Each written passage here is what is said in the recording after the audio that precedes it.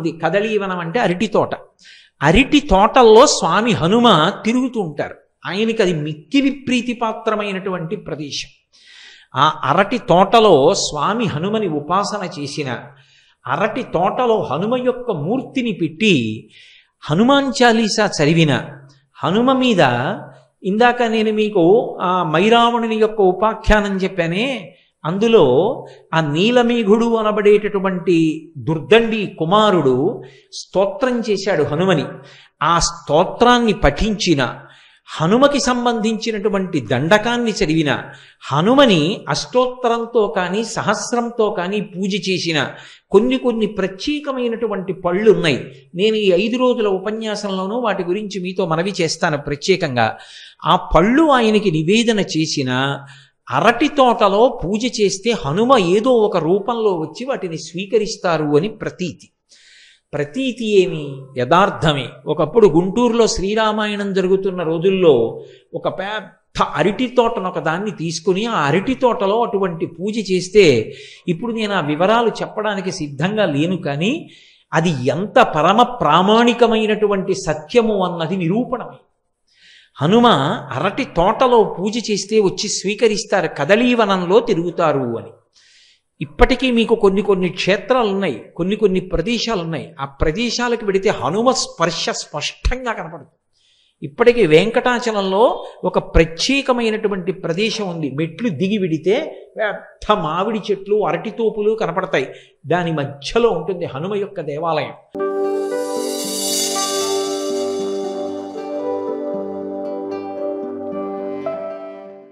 యాత్రలో స్వామి హనుమ తోరణం మీద కూర్చుని చెప్పినటువంటి శ్లోకాలు.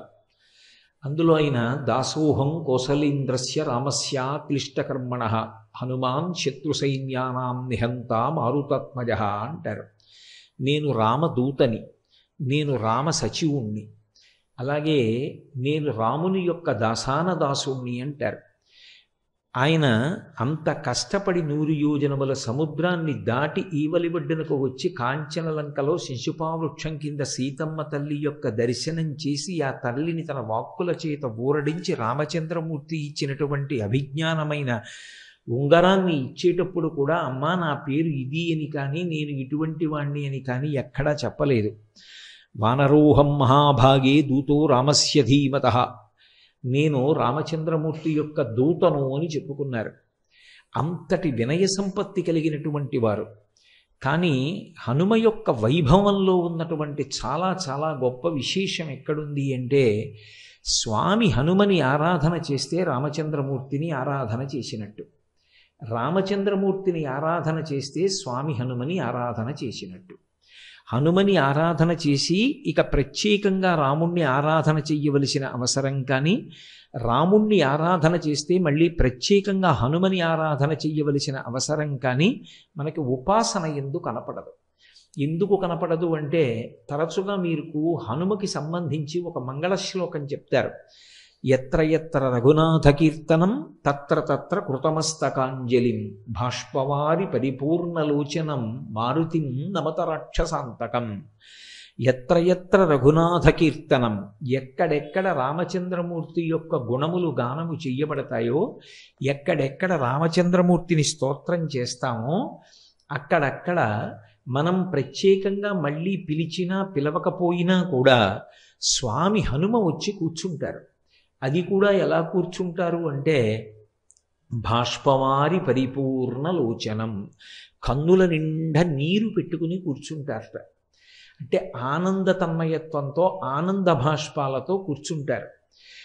కాబట్టి ఎత్ర ఎత్ర రఘునాథ కీర్తనం తత్ర తత్ర కృతమస్తకాంజలిం. అది కూడా ఇలా తలెత్తి కూర్చోట ఇలా తలదించుకొని భాష్పవారి పరిపూర్ణలోచనం మారుతిం నమత రాక్షసాంతకం రాక్షసాంతకుడైనటువంటి ఆ స్వామి హనుమ వాయుపుత్రుడు కందుల నిండా నీరు పెట్టుకొని ఆ ఆనంద భాష్పాలతో రామచంద్రమూర్తి యొక్క కథ వింటారట. ఇది సంప్రదాయమునందు రూఢమైనటువంటి విశేషం. అంటే ఇందులో ఇక ఏ విధమైనటువంటి అపనమ్మకానికి తావు లేదు. అందుకే రామచంద్రమూర్తి యొక్క గుణగానం ఎక్కడుంటుందో అక్కడే స్వామి హనుమ ఉంటారు.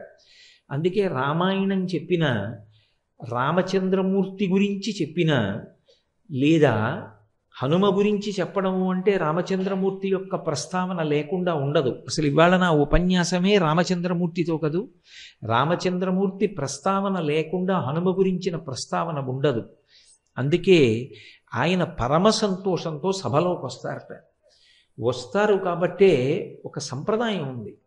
ఏం చేస్తారంటే ఉపన్యాసం చెప్పేటటువంటి పౌరాణికునితో పాటుగానే ఒక ఖాళీ ఆసనాన్ని పక్కన వేస్తారు వేదిక మీద. వేసి ఒక పాదపీఠాన్ని పెడతారు. అంటే పాదాలు పెట్టుకోవడానికి ఒక పీఠాన్ని ఉంచి ఒక పుష్పహారాన్ని ఆ ఆసనానికి కూడా సమర్పించి అందులో పువ్వులు వేసి ఉంచాలి. ఎందుకని అంటే స్వామి హనుమ అందులోకి వచ్చి కూర్చుని వింటారు. ఒకవేళ మనం అలా పిలవలేదనుకోండి అప్పుడు ఆయన రావడం మానరు. ఆయన సభలో ఎక్కడో వచ్చి కూర్చుంటారు. అది ఆయన యొక్క పరమ వినయానికి పరాకాష్ఠ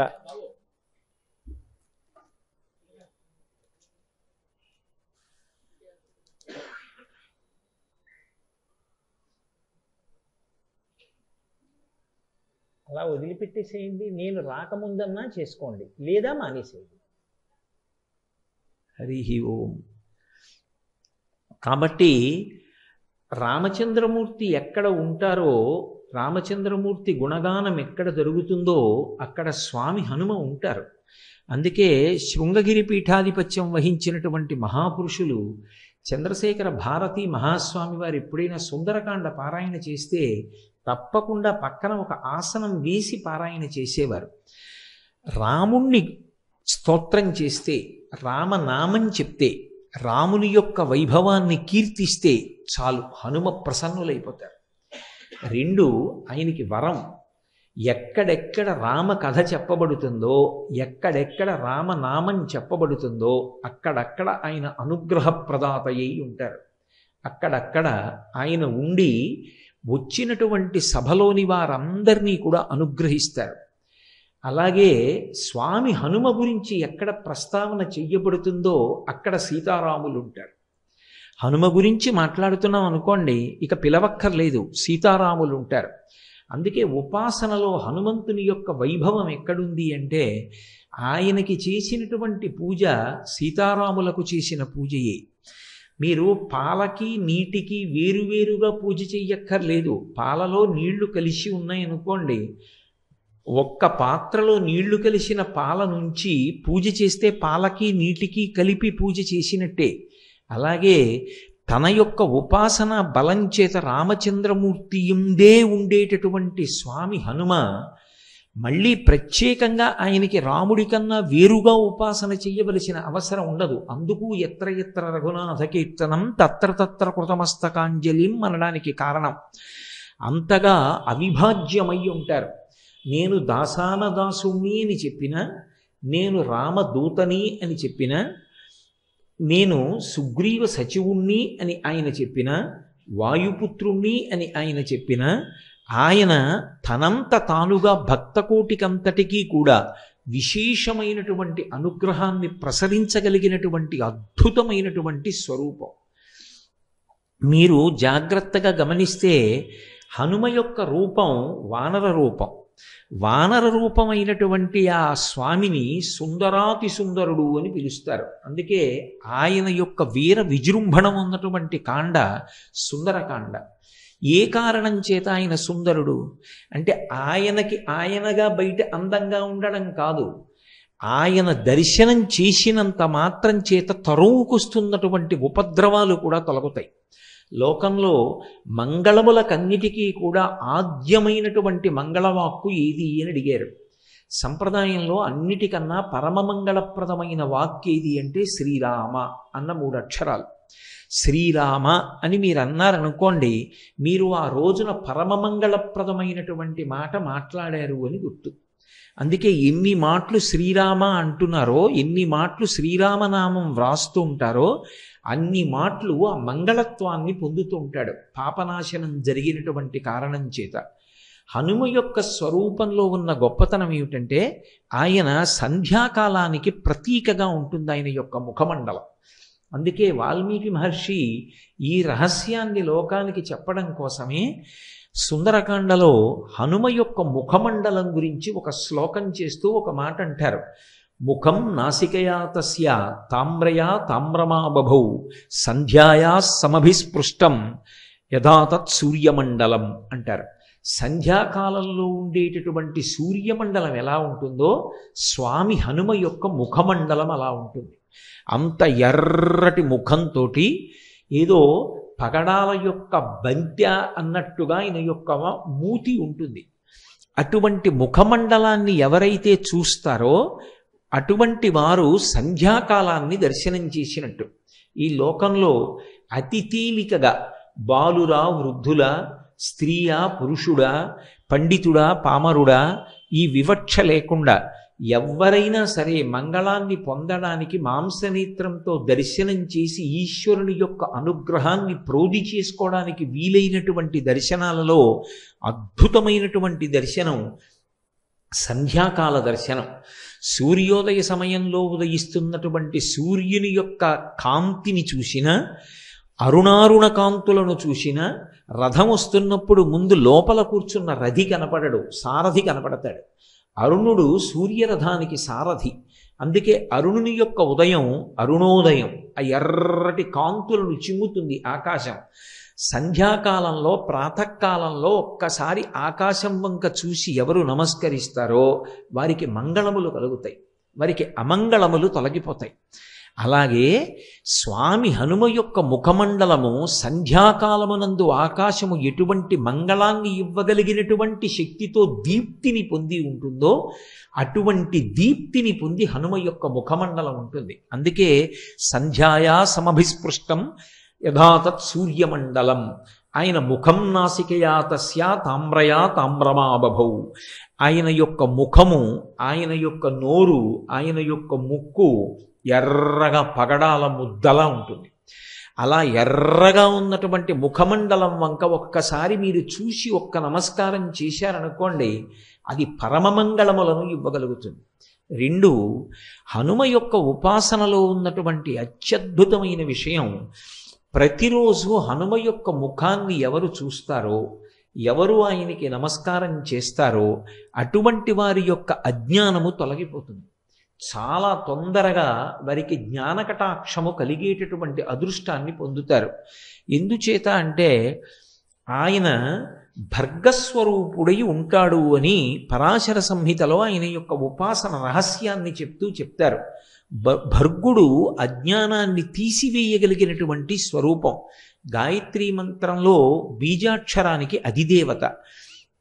అటువంటి భర్గస్వరూపుడైనటువంటి హనుమ యొక్క ముఖాన్ని ఆయన యొక్క రూపాన్ని ఎవరు చూస్తారో వారికి మంగళములు ఇవ్వబడతాయి. అందున ప్రత్యేకించి హనుమ ఉపాసనకి చాలా విశేషమైన రోజుగా చెప్పబడినది ఇది అంటే సాధారణంగా ప్రతి వారంలోనూ కూడా మొట్టమొదట గొప్పది శనివారం. శనివారం నాడు స్వామి హనుమ యొక్క ఉపాసనకి అత్యంత ప్రీతిపాత్రమైన రోజు. ఆయన అవతార స్వీకారం చేసింది కూడా స్థిరవారం శనివారం నాడే చేశారు. వైశాఖమాసి కృష్ణాయాం అని ఆయన మందవాసరి దశమ్యాం మందవాసరి దశమి తిథి నాడు శనివారం నాడే ఆయన ఆవిర్భవించారు. శనివారం ఆయన ఉపాసనకి చాలా శ్రేష్టమైనటువంటి రోజు. ఎందుచేత అంటే ఆ రోజు ప్రారంభం శనిహోరతో ప్రారంభం అవుతుంది శనీశ్వర గ్రహాన్ని తన తోకకి చుట్టి ఆయన మీద శని యొక్క ప్రభావం లేకుండా చూసి శిక్షించినటువంటి వారు స్వామి హనుమ. అప్పుడు శరీరము శిథిలమై స్వామి హనుమని ప్రార్థన చేశాడు శనీశ్వరుడు. అయ్యా నీ చేత నేను ఇప్పటికే చాలా హింసింపబడ్డాను. నన్ను నీ తోక నుంచి విడిపించు. నీకేం కావాలడుగని అడిగాడు. అడిగితే స్వామి హనుమ శనీశ్వరుని నుండి ఒక మాట పుచ్చుకున్నారు. ఎవరు నాకు పరమ భక్తులై ఉంటారో అటువంటి వారి జోలికి నువ్వు వెళ్ళకూడదు. ఒకవేళ జాతకంలో శనీశ్వరుని యొక్క ప్రభావం చాలా విశేషంగా ఉండేటటువంటి వారు కూడా హనుమ యొక్క అనుగ్రహానికి నోచుకున్న వారైతే అటువంటి వారందరికీ కూడా శనీశ్వర గ్రహం యొక్క ప్రభావం విశేషంగా ఉండేటటువంటి అవకాశం ఉండదు. అది హనుమ పుచ్చుకున్నటువంటి మాట. అందుకే హనుమదుపాసన శనివారం నాడు చేస్తే శనీశ్చర గ్రహం ఆనుకూల్యతని పొందుతుంది.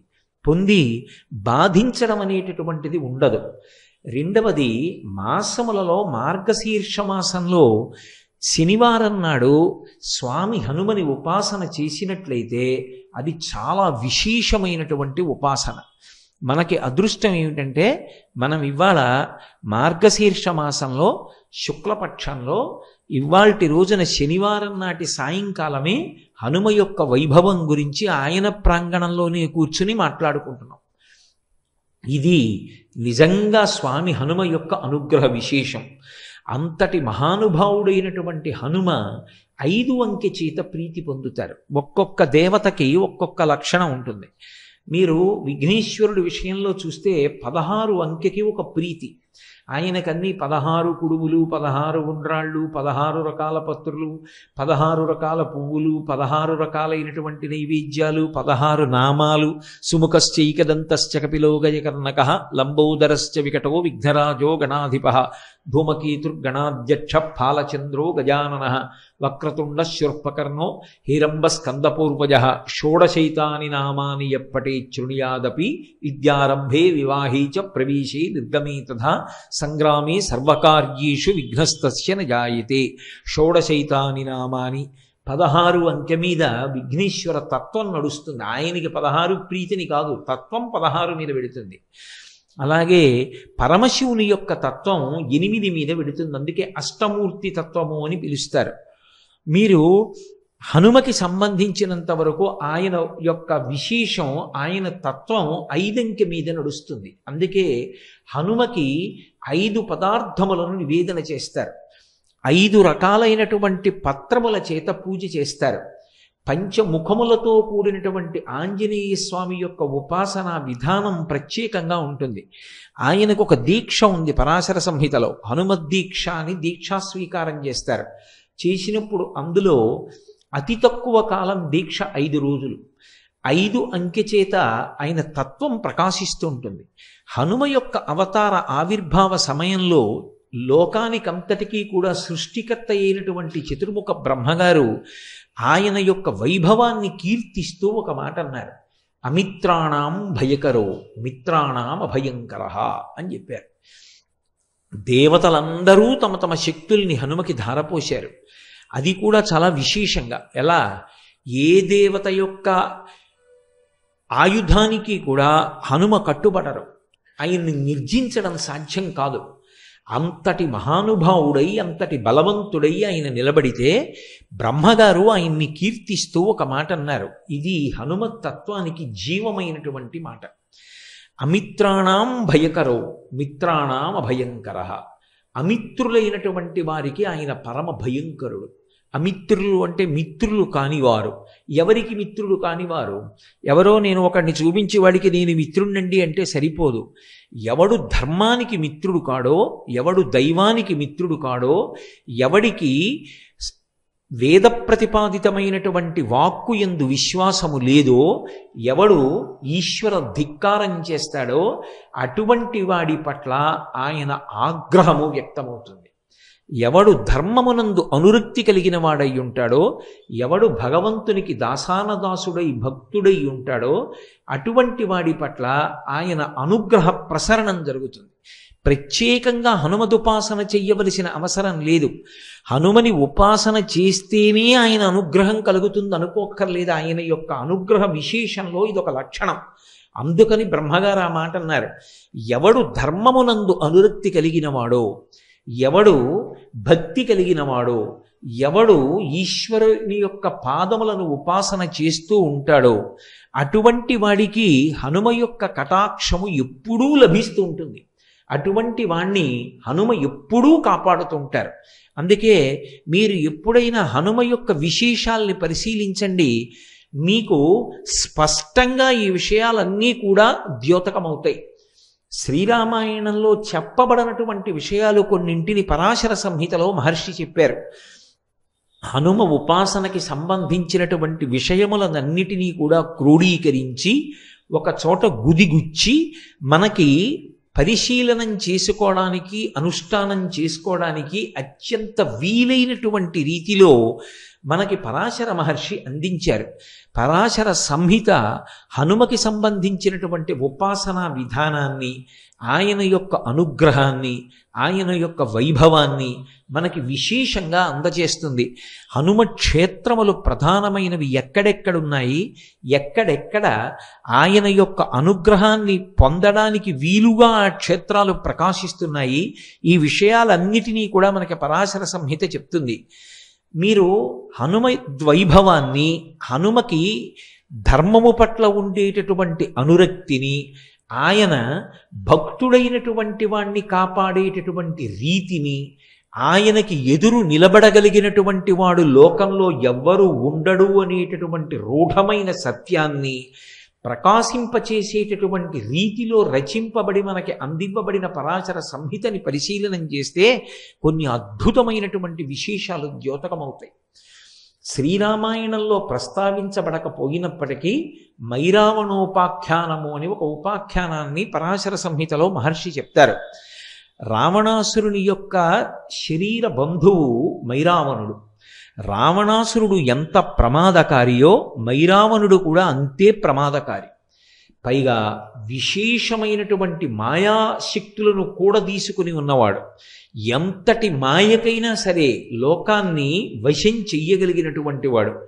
అటువంటి వాడు పాతాళంలో ఉన్నటువంటి లంకాపట్టణానికి అధిపతి అయి ఉన్నాడు. ఆ మైరావణునికి ఒక చెల్లెలు ఉండేది. ఆమె పేరు దుర్దండి. ఆ చెల్లెలు దుర్దండికి ఒక కుమారుడు ఉండేవాడు. అతని పేరు కాలమీఘుడు. ఒకప్పుడు దేవర్షి అయినటువంటి నారద మహర్షి లోక సంచారం చేస్తూ పాతాళంలో ఉన్నటువంటి లంకాపట్టణానికి వెళ్ళారు. వెళ్ళి ఆ కాలమీఘుడు అనబడేటటువంటి వ్యక్తిని చూశారు.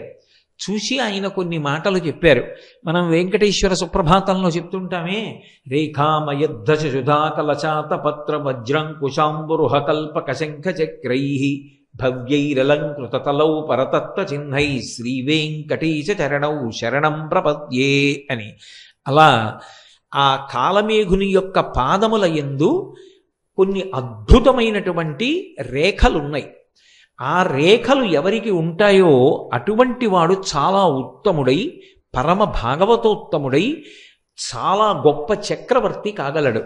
అందుకని ఈ పాతాళలోకంలో ఉండేటటువంటి లంకా పట్టణాన్ని ఈ నీలమేఘుడు పరిపాలన చేస్తాడు కొంతకాలం అయిన తర్వాత. ఇతని పరిపాలనలో ఈ పాతాళలోకానికి చాలా వైభవం కలుగుతుంది అని చెప్పి నారద మహర్షి వెళ్ళిపోయారు. ఇది విన్నాడు మేనమామ అయినటువంటి మైరావణుడు. తన మేనల్లుడు ఆ నీలమేఘుడు ఎక్కడ చక్రవర్తి అవుతాడో చాలా గొప్ప కీర్తి ప్రతిష్టలు తెచ్చుకుంటాడో భగవద్భక్తుడై ప్రకాశిస్తాడో ధర్మమునందు అనురక్తి కలిగిన వాడవుతాడోనని ఆయనని పెద్ద పెద్ద బరువైన ఇనప గొలుసులతో బంధించాడు. సోదరి అని కూడా చూడకుండా తోడపుట్టినటువంటి దుర్దండిని కూడా ఇనప గొలుసులతో బంధించాడు. తనని కన్న తండ్రిని కూడా బంధించి చెరసాలలో ఉంచాడు. వీళ్ళు ఈ పెద్ద పెద్ద ఇనప గొలుసులు మోసుకుంటూ నడవలేక నడవలేక తిరుగుతూ ఉండేవారు. కొద్ది దూరం నడవాలంటే కష్టం. అటువంటి శిక్ష వేశాడు వాళ్ళకి.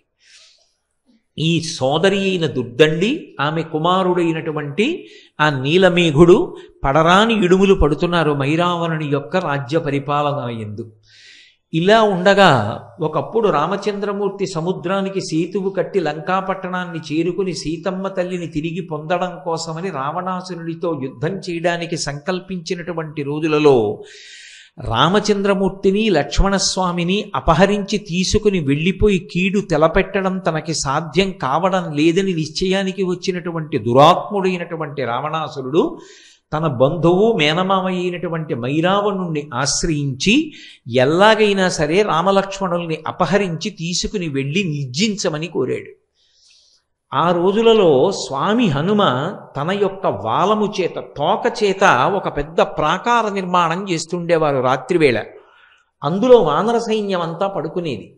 ఆయన తన తోకనే ప్రాకారంగా పెట్టి ఉండేవారు. ఆ తోక దాటి వెళ్ళడం లోపలికి ఎవరికి సాధ్యమయ్యేది కాదు. ఈ వార్త మైరావణుడికి వెళ్ళింది. రామలక్ష్మణుల్ని అపహరించాలి. ఎలా అపహరించడం? ఆలోచన చేశాడు. ఆయన దగ్గర సూచీముఖుడు అని ఒక రాక్షసుడు ఉండేవాడు.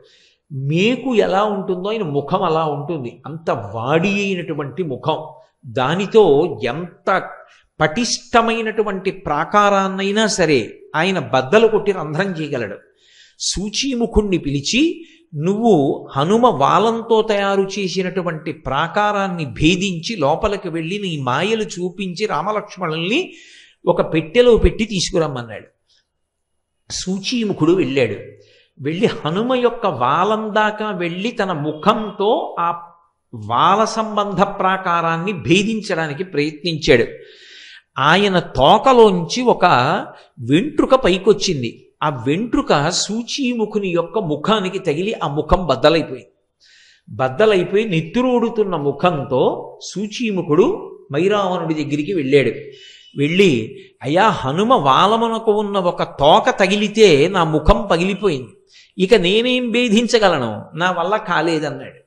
వెంటనే ఆయన మూషికముఖుడు అని పిలవబడేటటువంటి వేరొక రాక్షసుణ్ణి పిలిచాడు. ఆయన ఇలుక ముఖం ఉన్నవాడు. ఆయన కూడా దేని ఎంత దుర్భేద్యమైన దానికైనా రంధ్రం చేయగలడు. నువ్వు వెళ్ళి రంధ్రం చేసి అపహరించమన్నాడు. వెంటనే ఆ మూషిక ముఖుడు బయలుదేరి వచ్చి హనుమ తోకని స్పృశించగానే ఆయన ముఖం కూడా బద్దలైపోయింది. అంతటి తేజోవంతమైన స్వరూపం. అందుకే హనుమ యొక్క మూర్తికి ఒక్క నమస్కారం చేస్తే చాలు. తరువుకొస్తున్నటువంటి దురితాలు ఉపద్రవాలు కూడా పక్కకి తొలగిపోతాయి అని చెప్తారు. మనకి రహదారుల వెంట ఎక్కడ చూసినా పూర్వం పెద్ద పెద్ద హనుమన్ మూర్తిని పెట్టి ఉంచేవారు. ఎందుకంటే అంతంత పెద్ద పెద్ద చెట్లని ఆశ్రయించి ఏ ఉగ్రభూతములుంటాయో ప్రయాణం చేస్తున్న వాళ్ళకి ప్రమాదాలు కలగకూడదని ప్రతి ఊరి వాళ్ళు కూడా ఊరి బయట రహదారి పక్కన హనుమన్మూర్తిని ఉంచి తమ ఊరు దాటి పక్క ఊరు వెళ్ళే వరకు ప్రయాణికులకు ఇబ్బంది కలగకుండా క్షేమాన్ని ఆశించి తమ వంతు సహాయంగా హనుమన్మూర్తులను ప్రతిష్ఠ చేస్తూ ఉండేవారు. ఇప్పటికీ మీకు తూర్పుగోదావరి జిల్లా పశ్చిమ గోదావరి జిల్లాల్లో కాలవ ఒడ్డున వెళ్ళిపోతుంటే ప్రతి ఊళ్ళో మొట్టమొదట స్వామి హనుమ యొక్క మూర్తి దర్శనం అవుతుంది. ఆయన కనపడ్డారు అంటే చాలు మనసుకి ప్రశాంతత.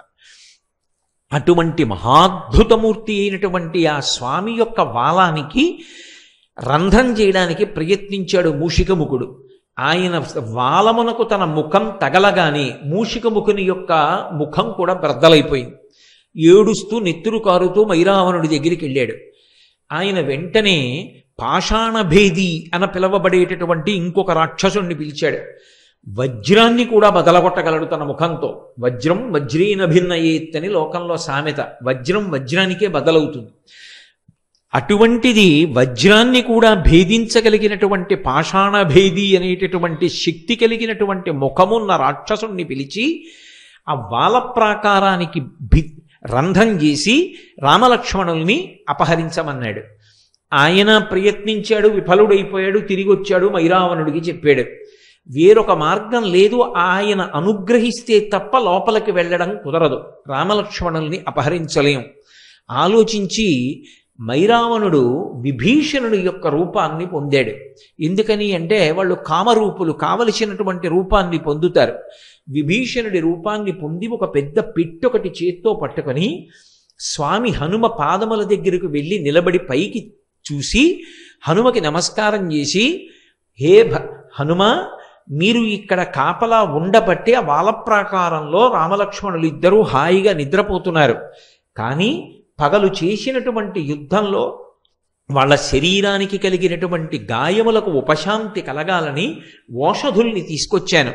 లోపలికి వెళ్ళి రామలక్ష్మణుల దర్శనం చేసి వాళ్ళు క్షేమంగానే ఉన్నారు అన్నది రూఢం చేసుకుని ఈ ఓషధులు ఇచ్చి వస్తాను. కొద్దిగా చోటు ఇవ్వవలసింది అని అడిగాడు. విభీషణుడు వచ్చాడు అన్న ఆలోచనతో రామలక్ష్మణుల యొక్క క్షేమాన్ని అపేక్షించేటటువంటి లక్షణమున్న హనుమ తన తొడల సందులో కొద్దిగా చోటు ఇచ్చాడు ఆ తొడల సందులోంచి వెళ్ళిపోయాడు లోపలికి మైరావణుడు వెళ్ళి తను తెచ్చినటువంటి ఓషధుల్ని పిండితే ఏ నిద్రపోతున్న వ్యక్తి అయినా మూర్ఛలోకి వెళ్ళిపోతారు. అటువంటి ఓషధుల్ని పిండాడు. రామలక్ష్మణులు ఇద్దరూ మూర్ఛలోకి వెళ్ళిపోయారు. ఇద్దరిని పెట్టెలో పెట్టుకుని మూత వేసి మళ్ళీ బయటికి వచ్చేసాడు లోపలికెళ్ళి చూశాను రామలక్ష్మణులు నిద్రపోతున్నారు. రాత్రివేళ రాక్షసులు సంచరించేటటువంటి సమయం రాక్షసులు మహామాయావులు. హనుమ తస్మాత్ జాగ్రత్త జాగ్రత్త అని చెప్పి తాను పాతాళ లోకంలో ఉన్న లంకా పట్టణానికి రామలక్ష్మణుల్ని తీసుకుని వెళ్ళిపోయాడు. తీసుకుని వెళ్ళి ఆ పెట్టె మూత తీసి చూశాడు. తాను పిండిన ఓషధుల యొక్క శక్తి చేత రామలక్ష్మణులు ఇద్దరూ మూర్ఛలో ఉన్నారు. తన చెల్లెలు దుర్దండిని పిలిచాడు. వీళ్ళిద్దరినీ ఇప్పుడు మహానది దగ్గర గొప్ప ఉత్సవం జరుగుతోంది. ఆ ఉత్సవానికి తీసుకెళ్ళి వీళ్ళని బలిస్తాను. బలిచ్చే ముందు ఈ నరులిద్దరికీ స్నానం జరగాలి. ఒకటవ ప్రాకారం ముందర దివ్యమైనటువంటి కొలను ఉంది. ఆ కొలను నుండి నువ్వు బంగారు కుంభంతో నీళ్ళు తీసుకొచ్చి వీళ్ళిద్దరికీ స్నానం చేయించు. వీళ్ళు మూర్ఛయందున్నారు నీళ్ళు మీద పడినా పైకి లేవరు. నేను అటువంటి ఓషధులు పిండాను. కాబట్టి నువ్వు నీళ్ళు పోయి వీళ్ళని మహానదీ తీరానికి తీసుకెళ్ళి బలిస్తానన్నాడు. ఆమె సంకెళ్ళు వేయబడి ఉంది. ఆమె ఎంతో బాధపడుతూ ఇంతటి ధర్మాత్ములైనటువంటి రామలక్ష్మణులకు ఇటువంటి కీడు తలపెట్టాడే అని స్వామి హనుమ ఉండగా వీళ్ళకి ఇటువంటి ఉపద్రవం ఎందుకు జరుగుతుంది? హనుమ ఎక్కడ ఉన్నారు? ఎందుకు రాలేదు? ఎందుకు రక్షించట్లేదు? ఆయనకి తెలియదా అని ఆలోచిస్తూ హనుమని స్తోత్రం చేస్తూ ఆవిడ నడిచి వెడుతోంది. వెడుతుండగా ఇక్కడ హనుమ నిలబడి ఉన్నారు. విభీషణుడే వచ్చి వెళ్ళాడు అనుకుంటున్నారు. మళ్ళీ విభీషణుడు వచ్చాడు. ఆ వచ్చినవాడు అసలు విభీషణుడు. వచ్చి హనుమ బాగా చీకటి పడింది. రాక్షసులు తిరిగేటటువంటి సమయం మాయావులు. తస్మాత్ జాగ్రత్త ఉస్మా. లోపల ఉన్న రామలక్ష్మణుల్ని ఒక్కసారి దర్శనం చేసి వస్తాను క్షేమంగా ఉన్నారో లేదో. నా ఆరాటం నాదన్నాడు. ఆయన అన్నారు ఇప్పుడే కదా దర్శనం చేశావు. మళ్ళీ దర్శనానికి వెడతానంటే ఏమిటన్నారు? నేను వచ్చాను ఆ దర్శనానికి. నేను రాలేదన్నాడు విభీషణుడు. ఏదో ఉపద్రవం జరిగిందని విభీషణుడిని తీసుకుని లోపలికి వెళ్ళారు వెడితే అప్పటికే రామలక్ష్మణులు అపహరింపబడ్డారు. ఎవరు అపహరించారు ఎలా అని ఆలోచన చేశారు. అప్పుడు విభీషణుడు చెప్పాడు ఇది మైరావణుడి పని మహామాయావి. మైరావణుని యొక్క పాతాళ లంకకి వెళ్ళడానికి రెండే రెండు మార్గాలు ఉన్నాయి ఒకటి విశాలమైనటువంటి సొరంగ మార్గం. అందులో బయలుదేరి వెడితే అనేక మంది రాక్షసులు కనపడతారు. వాళ్ళతో యుద్ధం చేసి పాతాళ లంకకి చేరడానికి చాలా సమయం పడుతుంది. ఈ లోపల రామలక్ష్మణులకు ఉపద్రవం రావచ్చు. రెండవది రావణాసురుని యొక్క అంతఃపురంలోంచి మార్గం ఉంది. అది తామరనాళం ఎలా ఉంటుందో అంత సన్నగా ఉంటుంది. అందులోంచి సూక్ష్మరూపుడవై వెళ్ళాలి. వెళ్ళిన తరువాత పాతాళలంక యొక్క బహిప్రదేశానికి చేరుకుంటావు. అక్కడ మొదటి ప్రాకారాన్ని దాటడం చాలా చాలా కష్టం. అసలు ప్రాకార ప్రవేశం చెయ్యలేరు. అటువంటి ఏర్పాట్లున్నాయని నేను విన్నాను. అక్కడ వరకే నాకు తెలుసు. అక్కడ ఏ పాటిని అలికిడి తెలిసినా ఏకకాలమునందు కోట్ల మంది రాక్షసులు వచ్చి మీద పడిపోతారు. జాగరూకుడవై వెంటనే బయలుదేరమన్నారు. మహానుభావుడు స్వామి హనుమ వెంటనే రామలక్ష్మణుల ఎందు ఉన్న భక్తి చేత ఆ నాళ మార్గం గుండా బయలుదేరి లోపలికి వెళ్ళారు. వెళ్ళేటప్పటికి తిన్నగా ఈ జలాశయం దగ్గరికి వెళ్ళారు. అక్కడ ఏడుస్తూ దుర్దండి కనపడింది. దుర్దండి అంటే మళ్ళీ మీరు జ్ఞాపకం తెచ్చుకోండి. ఆవిడ మైరావణుని యొక్క చెల్లెలు. అక్కడ ఒక పెద్ద శమీ వృక్షం ఉంది. లంకాపట్టణంలో అయితే శిశుపా వృక్షం ఇక్కడ షమీ వృక్షం షమీ వృక్షం మీదకెక్కి కూర్చున్నారు. కూర్చుని ఈమె ఎందుకు ఏడుస్తోంది అని పరిశీలించారు. ఆమె వెక్కుతూ పైకి అంటోంది హనుమ ఏమయ్యారు? హనుమ ఎక్కడున్నారో? హనుమ ఉంటే రామలక్ష్మణులకి ఇటువంటి కీడు ఏర్పడదే అని. వెంటనే వచ్చి అమ్మా నువ్వెవరు? స్వాంతన పొందు నిజం చెప్పన్నారు. మైరావణుడే మాయావేషంలో వచ్చాడేమోనని దుర్దండి భయపడింది. కానీ హనుమ పలికినటువంటి స్వాంతన వచనముల చేత ఊరట పొందినటువంటి దుర్దండి తాను రామలక్ష్మణులకు నీటిని పట్టికెడుతున్నటువంటి విషయాన్ని స్నానం చేయించిన తరువాత మైరావణుడు వాళ్ళిద్దరినీ మహానదీ తీరానికి తీసుకెళ్ళి బలివ్వాలనుకుంటున్నటువంటి విశేషాన్ని చెప్పింది. నన్ను ఎలాగైనా మైరావణుడు ఉన్న అంతఃపుర ప్రాంతంలోకి ప్రవేశపెట్టగలవా అని అడిగారు. ఇక్కడ ఒక విశేషం ఉంది. అసలు మొదటి ప్రాకారంలోకి పట్టణంలోకి ప్రవేశం చెయ్యాలి అంటే ఒక బిలమార్గం ఉంటుంది.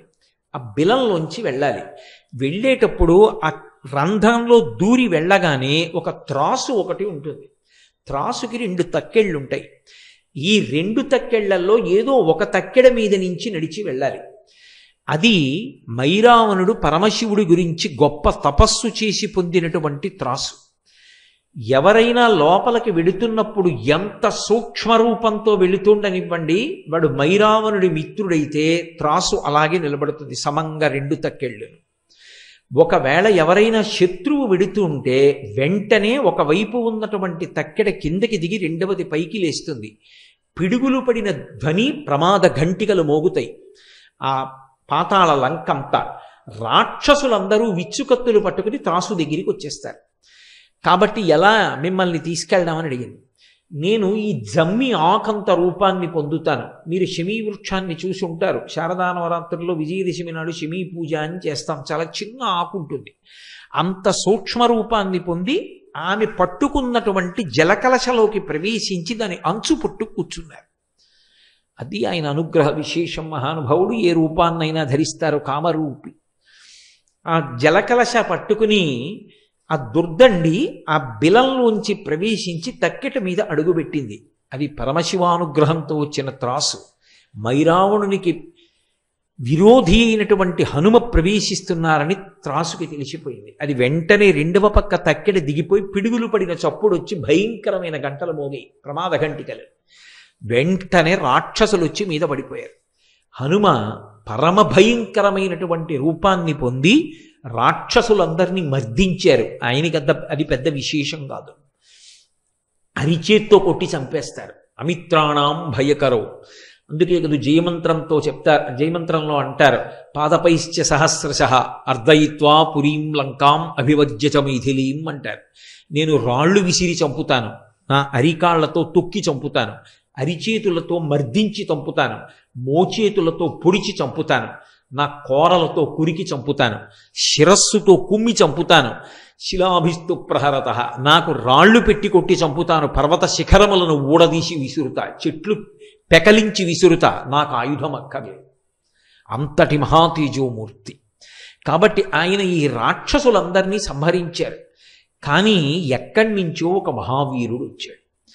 ఇద్దరి మధ్య అరివీర భయంకరమైనటువంటి యుద్ధం జరిగింది. ఎంత యుద్ధం చేసినా స్వామి హనుమ అవతల యుద్ధానికి వచ్చినటువంటి వీరుణ్ణి మట్టు పెట్టలేకపోయారు ఆఖరికి హనుమ అంతటి వారు బడలిపోయారు. అంత బడలిపోయి ఆశ్చర్యపోయారు. ఇంత శక్తి కలిగినటువంటి వాడు ఎలా తయారయ్యాడు అసలు? పైగా ఇతన్ని చూస్తే నాకేదో అవ్యాజమైన ప్రేమ కలుగుతోంది. ఇంతటి మహావీరుడు అని నాకు కోపం రావట్లేదు. చంపేద్దామన్న తీవ్రమైన ఇచ్చ కలగట్లా. ఏదో ఉందని ఒక్కసారి ఆగి అసలు నువ్వెవరు నాతో ఇంతసేపు నిలబడి పోరు సాగించగలిగావు? నీ గాథ ఏమిటి చెప్పమన్నారు. అంటే ఆయన తన కథ చెప్పడం మొదలుపెట్టాడు. ఒకనకొకప్పుడు ఒక గంధర్వకాంత ఉండేది. ఆమె మతంగ మహర్షి చేత వేరొక కారణానికి శపింపబడి ఒక పెద్ద చాపగా మారి దక్షిణ సముద్రంలో ఉండేది. ఆమెకి శాపావకాశం ఎప్పుడు కలుగుతుంది ఎప్పుడు పోతుంది ఆ శాపం అని ఆమె మతంగ మహర్షిని ప్రార్థించింది. హనుమ ఎప్పుడైనా అలసట పొందితే అలసట పొందినటువంటి హనుమ ఒంటి నుండి చెమట పుడితే ఆ చెమట ఆయన ఇలా తీసి పక్కన పడేస్తే ఆ చెమట నువ్వు మింగితే చెమట వలన నీకు కొడుకు పుడితే నీకు శాపం పోతుంది. కానీ నీకు భూత భవిష్యత్ వర్తమాన కాలముల ఎందు దృష్టినిస్తున్నాను అది పోదు. గతంలో ఏం జరిగిందో ఏం జరుగుతోందో ఏం జరగబోతోందో నీకు తెలుస్తుంది. నీకు ఆ శక్తిని ఇచ్చాను వెళ్ళమన్నారు మతంగ మహర్షి. అన్నీ రామకార్యం కోసం వచ్చినవే. మహర్షుల యొక్క ఏర్పాటు అంత చాకచక్యంగా. ఆమె దీర్ఘదీహి అన్న పేరుతో పెద్ద చాప అయి దక్షిణ సముద్రంలో ఉంది. స్వామి హనుమ సేతుబంధనం జరుగుతున్న సమయంలో అలసట పొందారు. పెద్ద పెద్ద బండరాళ్ళు తెచ్చి సముద్రంలో వేస్తున్నారు. చెమట పట్టదండి మరి? చెమట పట్టి ఆయన నుదుటికి ఉన్న చెమటని ఇలా తీసి ఇలా అన్నారు.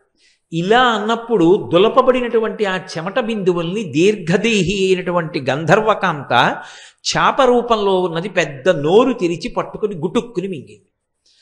అది మహర్షి యొక్క మాట. అది ఉత్తినే పోవడానికి వీల్లేదు. అలా పుడతారా అండి? అంటే అది సామాన్య విశేషం. యోగి నోటి వెంట వచ్చిన మాట అబద్ధం అవడానికి వీల్లేదు అది సత్యమై తీరాలి. ఈశ్వరుడు సత్యం చేస్తాడు. అందువల్ల ఆమె గర్భిణి అయింది. లోపల పిల్లవాడు పెరిగాడు. ఆ పిల్లవాడు పుట్టిన తర్వాత ఆమెకి శాప విమోచనం అయిపోయింది. ఆమె ఆ పిల్లవాడికి మత్స్యవల్లభుడు అని పేరు పెట్టింది. నాయనా నువ్వు హనుమ యొక్క కుమారుడివి. నేను గంధర్వకాంతని. శాపం చేత ఇలా వచ్చాను. నువ్వు పరమదుర్మార్గుడైనటువంటి మైరావరుణ్ణి సేవిస్తూ ఉండు. దాని వలన నీకు ఒక ప్రయోజనం కలుగుతుంది. నీ తండ్రి దర్శనం అవుతుంది ఒకనొక నీ తండ్రికి ఉపకారం చేయగలుగుతావు ఆయన అత్యంత ఒత్తిడిలో వస్తాడు. వచ్చినప్పుడు నువ్వు ఉపకారం చేస్తావు. అక్కడ ఉండమంది. అందుకని నా పేరు మత్స్యవల్లభుడు. నేను హనుమ యొక్క కుమారుణ్ణి. అందుకని నన్ను మట్టు పెట్టడం అంత తేలిక కాదు. మా తండ్రి గారి యొక్క వైభవం నాది. హనుమ చూసి పరమ సంతోషంతో వెళ్ళి పుత్రగాత్ర పరిష్వంగం. కొడుకుని కౌగలించుకుని మురిసిపోయి నాయనా నిన్ను చూస్తే ఎంతో ముచ్చటగా ఉంది. నేనే హనుమని. నువ్వు నా కుమారుడవు. నీ ఎందు అపారమైన ప్రీతి పొందాను. అంటే తండ్రి కాళ్ళ మీద పడి నమస్కారం చేసి నాన్నగారు నేను మీకు ఎలా ఉపయోగపడగలనని అడిగాడు. మైరావణుని యొక్క అంతఃపురాన్ని చూపించమన్నారు. అంతఃపురాన్ని చూపించాడు. ఇక నువ్వు వెళ్ళిపోమ్మని ఆ మైరావణుడితో యుద్ధం చేసి స్వామి హనుమ ఆ మైరావణుణ్ణి మట్టు పెట్టారు. మట్టు పెట్ మట్టు పెట్టడం అంత తేలికగా ఏమైపోలేదు ఎందుకంటే ఇద్దరి మధ్య ప్రచండమైన యుద్ధం జరిగింది. ఆయన తన దంతములతో మైరావణుడి యొక్క కంఠాన్ని కొరికేసి గోళ్ళతో శరీరాన్ని ఖండ ఖండములుగా చీల్చి పక్కన పారేసినా మళ్ళీ వాడు వచ్చి యుద్ధం చేసేవాడు. అసలు ఎలా మరణిస్తాడు ఈ మైరావణుడు? ఏం చేసినా మళ్ళీ బ్రతుకుతున్నాడు? తెల్లబోయారు హనుమ. అప్పుడు దుర్దండి చెప్పింది శరీరాన్ని ఎంత హింస పెట్టినా మరణించాడు. ఆయన మరణించాలి అంటే ఒకే ఒక్క కారణానికి మరణిస్తాడు. అదిగో మీరు యుద్ధం చేస్తున్న చోట మధ్యలో ఒక రాయి ఉంది. ఆ రాతిని హనుమ మీరు మీ కాల్తో తన్నండి. ఆ కింద చిన్న బిల ఉంది. ఆ బిలంలోంచి ఐదు తుమ్మెదలు పైకొస్తాయి. ఇతని పంచప్రాణాలు తుమ్మెదల్లో ఉన్నాయి. అవి ఎగురుతున్నంత కాలం ఇతను మరణించడు. ఆ ఐదు తుమ్మెదల్ని మీ పాదంతో నొక్కేయండి. నొక్కేస్తే ఇతని పంచప్రాణములు పోయి శరీరాన్ని విడిచిపెట్టేస్తాడు వెంటనే ఏడ్చాడు మైరావణుడు. చిల్లెలా నా తోడబుట్టిన దానివి నా ప్రాణాలు ఎక్కడున్నాయో చెప్పేస్తావా హనుమకని. ఇవి నువ్వు ధర్మం తప్పలా? ధర్మాత్ముడు భక్త భక్తి తత్పరుడు అయి ఈ రాజ్యమును పరిపాలించవలసినటువంటి నా కుమారుణ్ణి తీసుకెళ్ళి నిష్కారణంగా నిర్బంధించి నన్ను నిర్బంధించి నువ్వు రాజ్య పరిపాలన చేస్తూ ఇవాళ మమ్మల్ని ఇంత కష్టపెట్టినటువంటి వాడివి నువ్వు మరణించవలసినటువంటి అవసరం కూడా ఉంది. అందుకే నీ ప్రాణములు ఎక్కడున్నాయో చెప్పానంది. ఇక తను మరణిస్తానని తెలిసిపోయింది మైరావణుడికి. ఆ కాలితో అక్కడ ఉన్న రాతిని తన్నారు స్వామి హనుమ ఆ బిలంలోంచి ఐదు తుమ్మెదలు పైకొచ్చాయి. వెంటనే తన పాదంతో ఐదిటిని నలిపేశారు. పంచప్రాణములు పోయిన కారణం చేత విగత జీవుడై ఆ మైరావణుడు నేల మీద పడిపోయాడు. పడిపోయిన తరువాత అప్పుడు అక్కడ ఉన్నటువంటి ఆ నీలమేఘుడికి దుర్దండి యొక్క కుమారుడికి పాతాళలంక పట్టాభిషేకం చేసి రామలక్ష్మణులు ఇద్దరినీ కూడా తీసుకుని మళ్ళీ లంకాపట్టణానికి చేరుకున్నారు. చేరుకున్న కారణం చేత రామరావణ యుద్ధమై చిట్ట చివర రావణాసురుడు మడిసిపోయాడు అదిగో మైరావణుణ్ణి మర్దించి పరమ సంతోషంగా నేను రామకార్యాన్ని చెయ్యగలిగాను. నా వల్ల ఒక చిన్న పొరపాటు జరిగింది. విభీషణుడు అనుకుని మైరావణుణ్ణి లోపలికి పంపాను. రామలక్ష్మణుల్ని అపహరించాడు. మళ్ళీ నేను ఆ దోషం దిద్దుకుని రామలక్ష్మణుల్ని రక్షించగలిగాను అన్న పరమ సంతోషంతో ఉన్నటువంటి రూపాన్ని ఆయన పాతాళ భేదనం చేసి పైకొచ్చి వెలిసినటువంటి మూర్తియే నైమిషారణ్యంలో ఉన్నటువంటి హనుమ. హనుమాన్ గాడి అని చెప్పి క్షేత్రం ఉన్నదే. అక్కడ ఉన్న స్వయంభూమూర్తి పెద్ద హనుమ ఉంటారు. ఆ హనుమ స్వయంగా మైరావణుణ్ణి మర్దించి పైకొచ్చినటువంటి స్వామి. ఈ మధ్యకాలంలో మనందరం నైమిషారణ్యం యాత్రకు వెళ్ళినప్పుడు ఆ హనుమాన్ గాడిలోనే ఉండి ఆ క్షేత్రంలోనే స్వామి హనుమ పాదాల చెంతన కూర్చుని మనం ఒక రోజున రామనామ సంకీర్తనం చేసి వచ్చేటటువంటి అదృష్టాన్ని మనకి కటాక్షించాడు. ఆ స్వామి ఎందు ఒక విచిత్రమైన లక్షణం ఉంటుంది. మూర్తిని ఇలా ముట్టుకుంటే ఒక్కసారి ఇలా కళ్ళు మూసుకుని ముట్టుకుంటే నిజంగా ఎవరినో మనిషిని ముట్టుకున్నట్టే ఉంటుంది. కానీ అలా అంగీకరించారు. అలా ఏం ముట్టుకోనివ్వరు. అది దేవస్థానానికి సంబంధించిన వాళ్ళే ప్రతిరోజు సింధూరాన్ని అలదుతారు మరి ఎందుకు పిలిచారో నాకు తెలియదు కానీ అది స్వామి అనుగ్రహ విశేషమో ఏమో. నేను అక్కడ కూర్చుని ఉండగా అకస్మాత్తుగా నన్ను పిలిచి సింధూర పాత్ర ఇచ్చి మీరు కూడా ఇవాళ స్వామికి సింధూరం రాయండి అన్నారు. ఆ రోజున హనుమాన్ గాడిలో స్వామి శరీరానికి సింధూరం రాస్తూ ఉంటే నేను అనుభవించినటువంటి ఆ స్పర్శ సుఖం నా జీవితంలో నేను ఎన్నడూ మరిచిపోలేనటువంటి అనుభూతి. అంత అద్భుతమూర్తి అంతటి మంగళప్రదుడు. హనుమ యొక్క క్షేత్రాలలో తప్పకుండా దర్శనం చెయ్యవలసిన క్షేత్రాలు పదమూడింటిని చెప్తారు.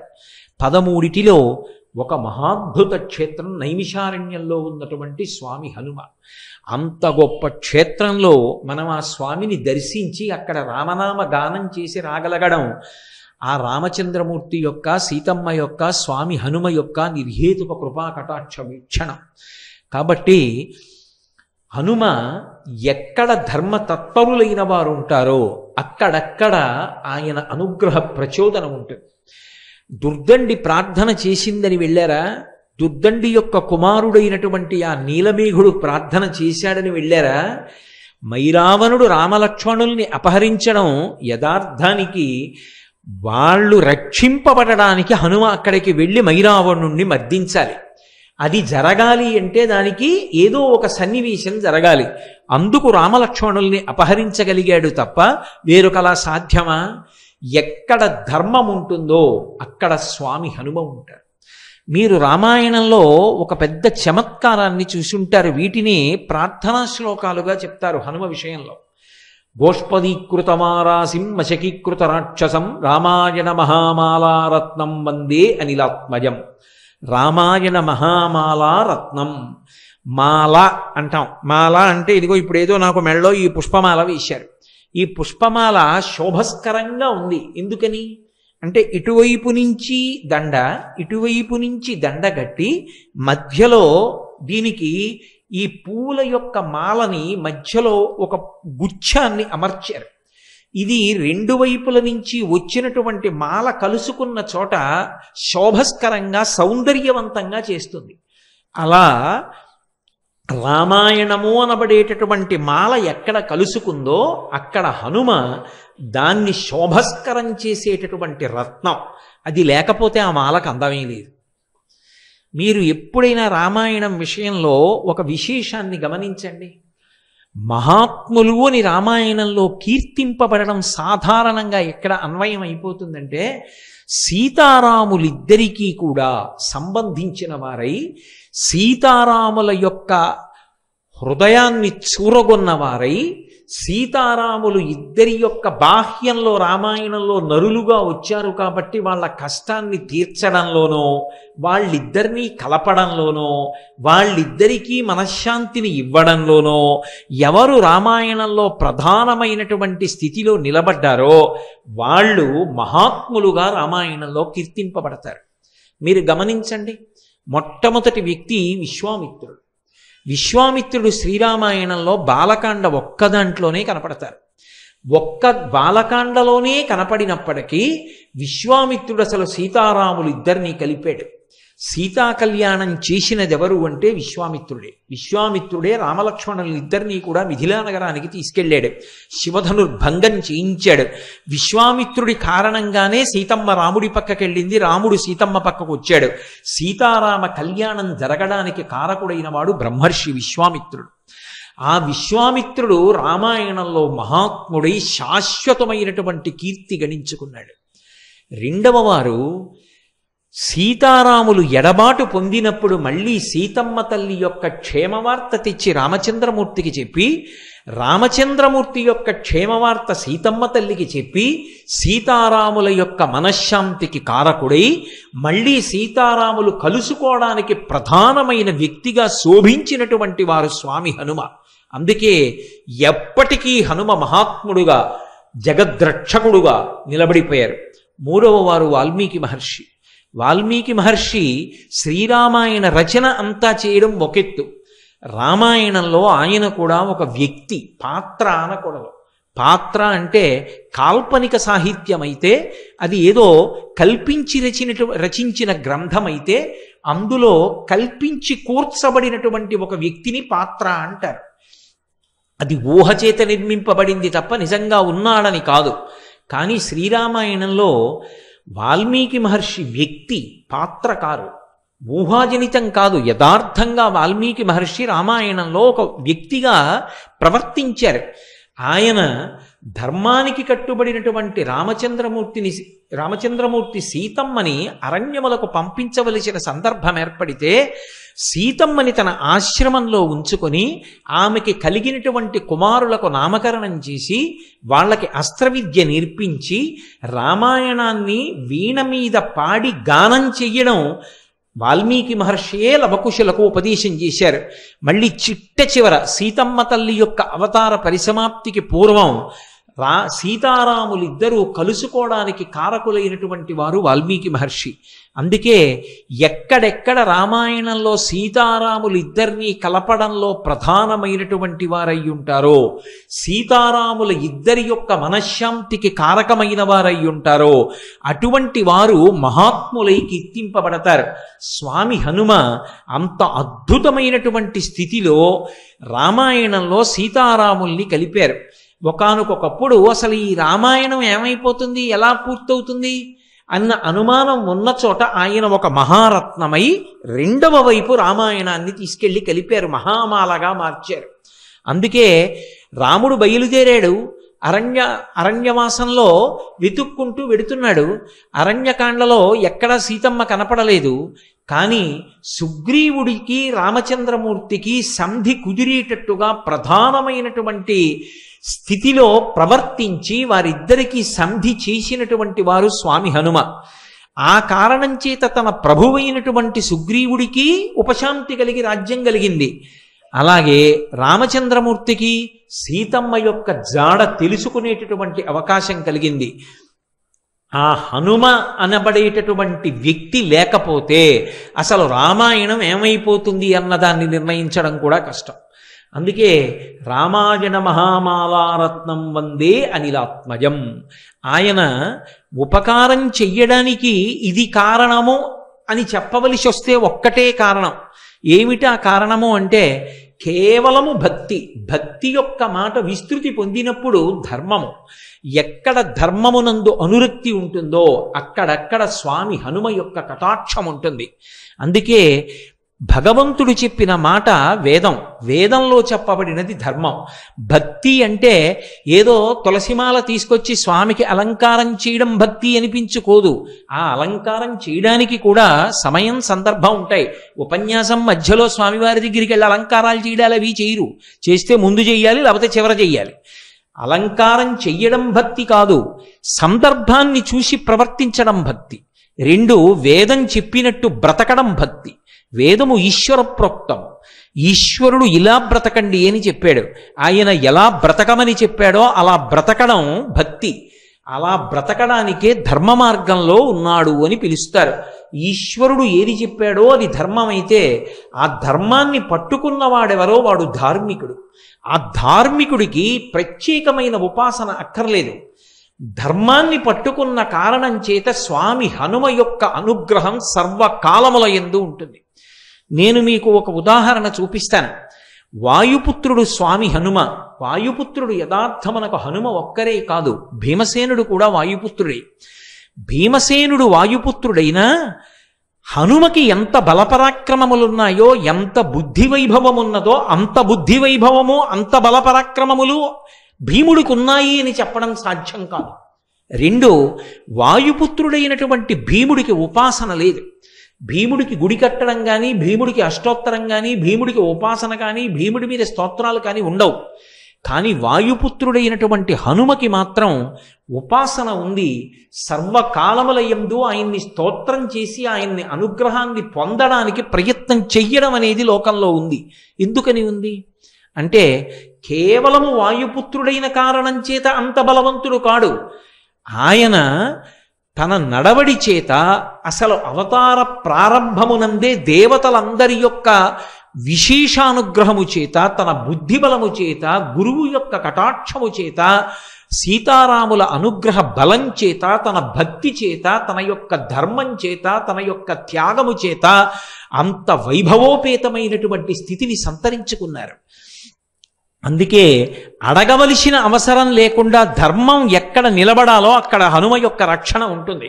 అందుకే ధర్మాత్ములైన వారి జోలికి పరమ భక్తులైన వారి జోలికి వెళ్ళి వాళ్ళ మనసు కష్టపడి వాళ్ళని ఇబ్బంది పెట్టే ప్రయత్నం చేశారనుకోండి ఆ ఆయన మనసు కష్టపడనంత కాలం పర్వాలేదు. ఆయన కన్నుల నీరు కారిందనుకోండి హనుమ ఆయన సంగతి చూడడం మొదలుపెట్టిన నాడు ప్రమాదాలు ఏర్పడతాయి. అందుకే హనుమ జోక్యం ఎందుకుంటుంది అంటే ధర్మం కోసం ఉంటుంది. మీకు నేను దీనికి ఒక ఉదాహరణ చూపిస్తాను. త్రేతాయుగంలో రామాయణం జరిగింది. ద్వాపర యుగంలో కురుక్షేత్ర సంగ్రామం జరిగింది. ద్వాపర యుగంలో ఒకనొకప్పుడు పాండవులందరూ కూడా అరణ్యవాసం చేశారు. ఎందుకు అరణ్యవాసం చేశారు? ఎందుకు అజ్ఞాతవాసం చేశారు? ఈ విశేషాలన్నీ మీకు తెలిసున్నవి వాళ్ళు అరణ్యవాసం చేస్తున్న రోజులలో ఆరు రోజులు బదరీ క్షేత్రంలో ఉన్నారు. ఆరు రోజులు బదరీ క్షేత్రంలో ఉన్నప్పుడు ఒక రోజున భీమసేనుడు ద్రౌపదీదేవితో కలిసి ఆ బదరీ క్షేత్రానికి కింద హిమవత్ పర్వత ప్రాంతంలో ఒక చోట కూర్చుని ఉన్నాడు శిలావేదిక మీద. ఎక్కడ నుండో పెద్ద గాలి వేసింది. ఆ గాలికి ఒక పెద్ద తామర పువ్వు ఒకటి వచ్చి వాళ్ళ దగ్గర పడింది. కుతూహలంగా ద్రౌపదీదేవి ఆ తామర పువ్వుని పైకెత్తి చూసింది. అది వేయి రేకుల పద్మం సహస్రపత్ర కమలం. అందులోంచి విశేషమైన సువాసన వస్తోంది. ఆవిడంది ఇటువంటి పుష్పాన్ని నేను పూర్వం చూడలేదు. ఎంత అద్భుతంగా ఉంది ఈ పువ్వు. ఎంత సౌకుమార్యంతో ఉంది. ఎంత గొప్ప సువాసనలు గుబాళిస్తోంది. ఇటువంటి పువ్వులు మరికొన్ని పువ్వులు ఉంటే నేను సంతోషిస్తాను. ఇటువంటి పువ్వులు మరికొన్ని నా కొరకు తెచ్చిపెట్టగలరా అని భీమసేనుణ్ణి అడిగింది. ఏదైనా సాధించడం అంటే మహాసంతోషం భీముడికి. ఆయన ఆ వేయి రేకుల తామర ఎటువైపు నుంచి వచ్చి పడిందో ఆ గాలి ఎటువైపు నుంచి వచ్చిందో దానికి అభిముఖంగా ప్రయాణం మొదలుపెట్టాడు. ఆ హిమవత్ పర్వత శృంగముల మీద ప్రయాణం చేస్తున్నాడు. కనపట్ట జంతువుల్ని తన చేతులతో మర్దిస్తున్నాడు. మంచి చల్లటి నీరు కలిగినటువంటి ఒక సరోవరం కనపడింది. అందులో దిగాడు స్నానం చేశాడు. కనబడ్డ తీయటి పళ్ళన్నీ తింటున్నాడు. నడిచి వెడుతున్నాడు. ఆ వెడుతున్నప్పుడు కిన్నెరకాంతలు మొదలైనటువంటి వాళ్ళు ప్రచ్ఛన్న రూపాలతో గుహల్లో దాక్కుని భీమసేనుని యొక్క పౌరుష పరాక్రమాల్ని ఆయన యొక్క అద్భుతమైనటువంటి ఆ శరీరాన్ని చూసి ఆశ్చర్యపోతున్నారు. ఆ స్నానం చేసి బయలుదేరి వెడుతున్నటువంటి భీముడికి ఆ ప్రకృతి ఆ వాతావరణం పులకింపచేసి లోపల కలిగినటువంటి సంతోషాన్ని పట్టలేక తన శంఖాన్ని తీసి పెద్దగా పూరించి సింహనాదం ఒకటి చేశాడు. చేసేటప్పటికి అక్కడ ఉన్నటువంటి ప్రాణుల గుండెలు బద్దలైపోయి నిత్తురు కక్కుకున్నాయి. భీమసేనుడి శంఖనాదం ఆయన సింహనాదం అంటే అలా ఉంటాయి. అదే సమయంలో అక్కడ గంధమాదన పర్వతం ఉంది. ఇప్పటికీ మీరు బదరీ వెడుతుంటే చెప్తారు ఇదే గంధమా గంధమాదన పర్వతం అని చెప్తారు. ఇప్పటికీ స్వామి హనుమ ఆ గంధమాదన పర్వతం మీదే ఉంటారు అని చెప్తారు పెద్దలు. పరాశర సంహిత కూడా అదే విషయాన్ని ధృవీకరించింది. మహాభారతం కూడా అరణ్యపరమం అదే విషయాన్ని ధృవీకరించింది. నేనైతే ఏమంటానంటే ఎక్కడ రామనామం ఉంటుందో అక్కడ హనుమ ఉంటారు అని చెప్తాను. కాబట్టి ఆ గంధమాదన పర్వతం మీద విహరిస్తూ వెడుతున్నాడు ఆ సౌగంధికా పుష్పం ఆ వేయి తామర వేయి రేకుల తామర పువ్వు ఎట్నుంచి వచ్చిందో ఆ చెట్టు వెతుకుతూ వెడుతున్నాడు. వెతుకుతుండగా అక్కడే పెద్ద కదళీ వనం ఉంది. కదళీ వనం అంటే అరటి తోట. అరటి తోటల్లో స్వామి హనుమ తిరుగుతూ ఉంటారు. ఆయనకి అది మిక్కిలి ప్రీతిపాత్రమైనటువంటి ప్రదేశం. ఆ అరటి తోటలో స్వామి హనుమని ఉపాసన చేసిన అరటి తోటలో హనుమ యొక్క మూర్తిని పెట్టి హనుమాన్ చాలీసా చదివిన హనుమ మీద ఇందాక నేను మీకు ఆ మైరావణుని యొక్క ఉపాఖ్యానం చెప్పానే అందులో ఆ నీలమేఘుడు అనబడేటటువంటి దుర్దండి కుమారుడు స్తోత్రం చేశాడు హనుమని.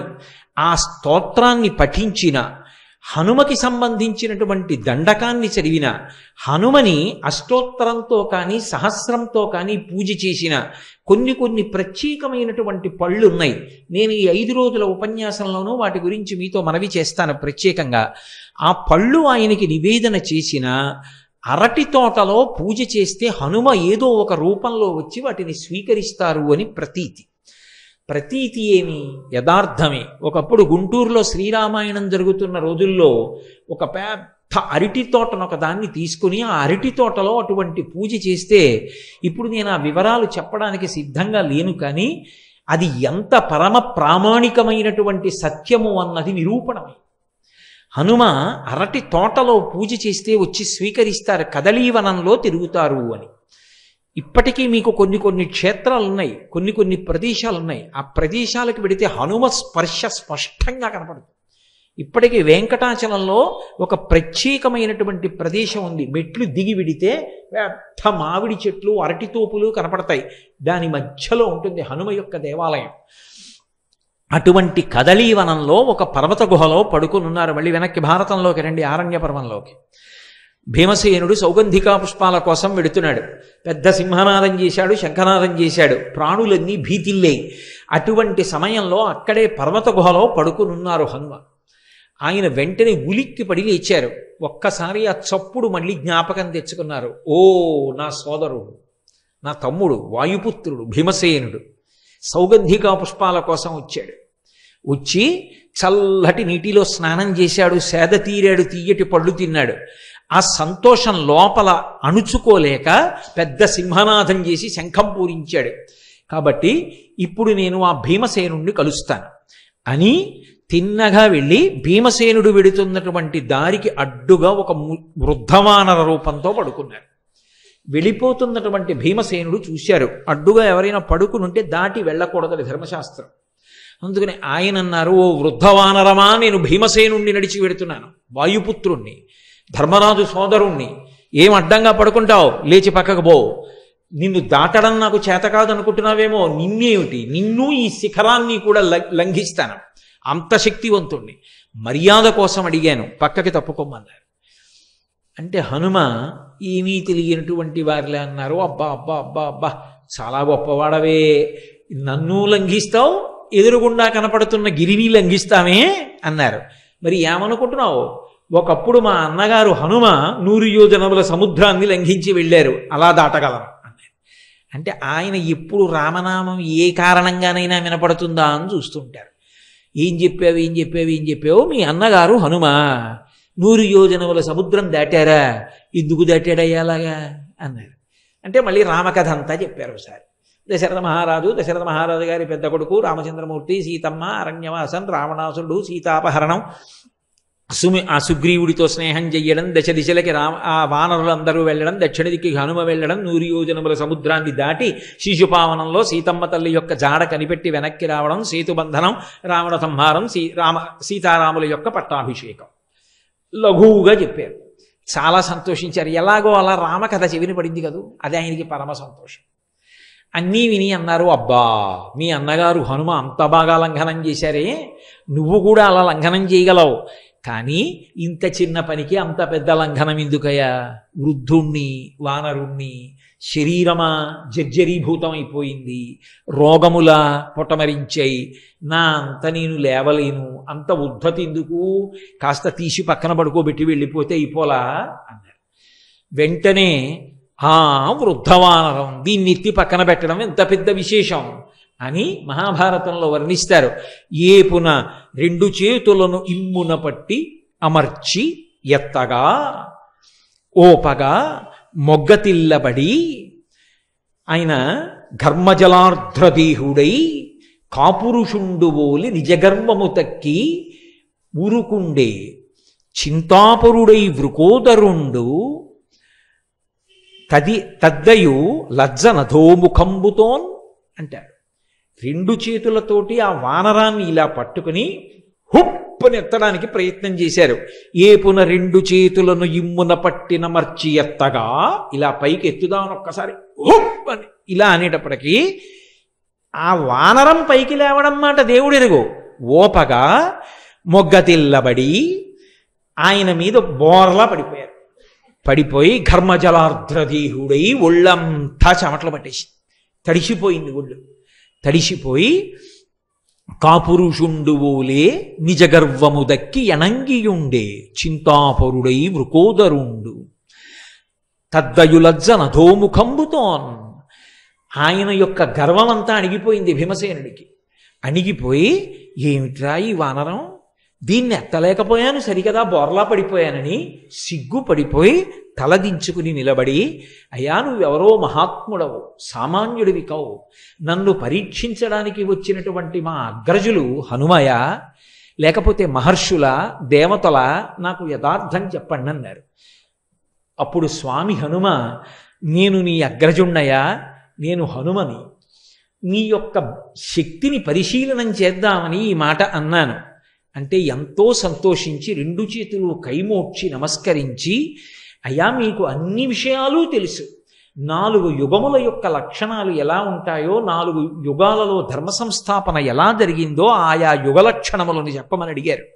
అడిగితే సంగ్రహంగా నాలుగు యుగాలు నాలుగు యుగాలలో శ్రీ మహావిష్ణువు స్వీకరించేటటువంటి అవతారాలు వాటి యొక్క వర్ణములు ఆ ధర్మ సంస్థాపన క్రమాన్ని మహానుభావుడైనటువంటి హనుమ ఉపదేశం చేశారు. చేసిన తరువాత భీమసేనుడు ఒక కోరిక కోరారు. అన్నగారు నాకొక్క కోరిక. ఆనాడు మీరు పరమ భయంకరమైనటువంటి రూపాన్ని చూపించారు రామరావణ సంగ్రామంలో. ఏది? ఇంకొక్కసారి మీరు అటువంటి రూపాన్ని నాకు చూపించండి దర్శనం చేస్తానన్నారు. ఎప్పుడో జరిగిన రూపం ఇప్పుడు ఎందుకు లేవయా ఊరుకో అన్నారు. కాదు కాదు చూడవలసింది. సరే చూపిస్తాను చూడమని మేరుమందర సంకాశౌ భవౌదిత్తానలప్రభ మేరు పర్వతం ఎలా ఉంటుందో అలా పెరిగిపోవడం మొదలుపెట్టారు. పెరిగిపోతే ఆయన రూపం దశ దిశలు నిండిపోయింది. నిండిపోతే ఇంతటి ధైర్యశాలు అయినటువంటి భీముడు గజ గజ ఉనికిపోయాడు ఆ రూపాన్ని చూసి.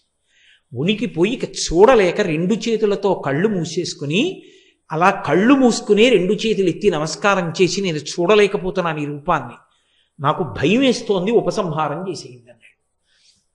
అంటే ఉపసంహారం చేశారు. ఉపసంహారం చేసి మళ్ళీ వృద్ధవానరం ఎలా ఉంటుందో అలా కనపడింది కనపడి ఇది నువ్వు చూపించమన్నావని చూపించినటువంటి రూపం శత్రువీరులు ఎదురు నిలబడినప్పుడు దీనికి రెండింతలు పెరుగుతుంది నా శరీరం. అటువంటి రూపాన్ని చూడడమే సాధ్యం కాదు.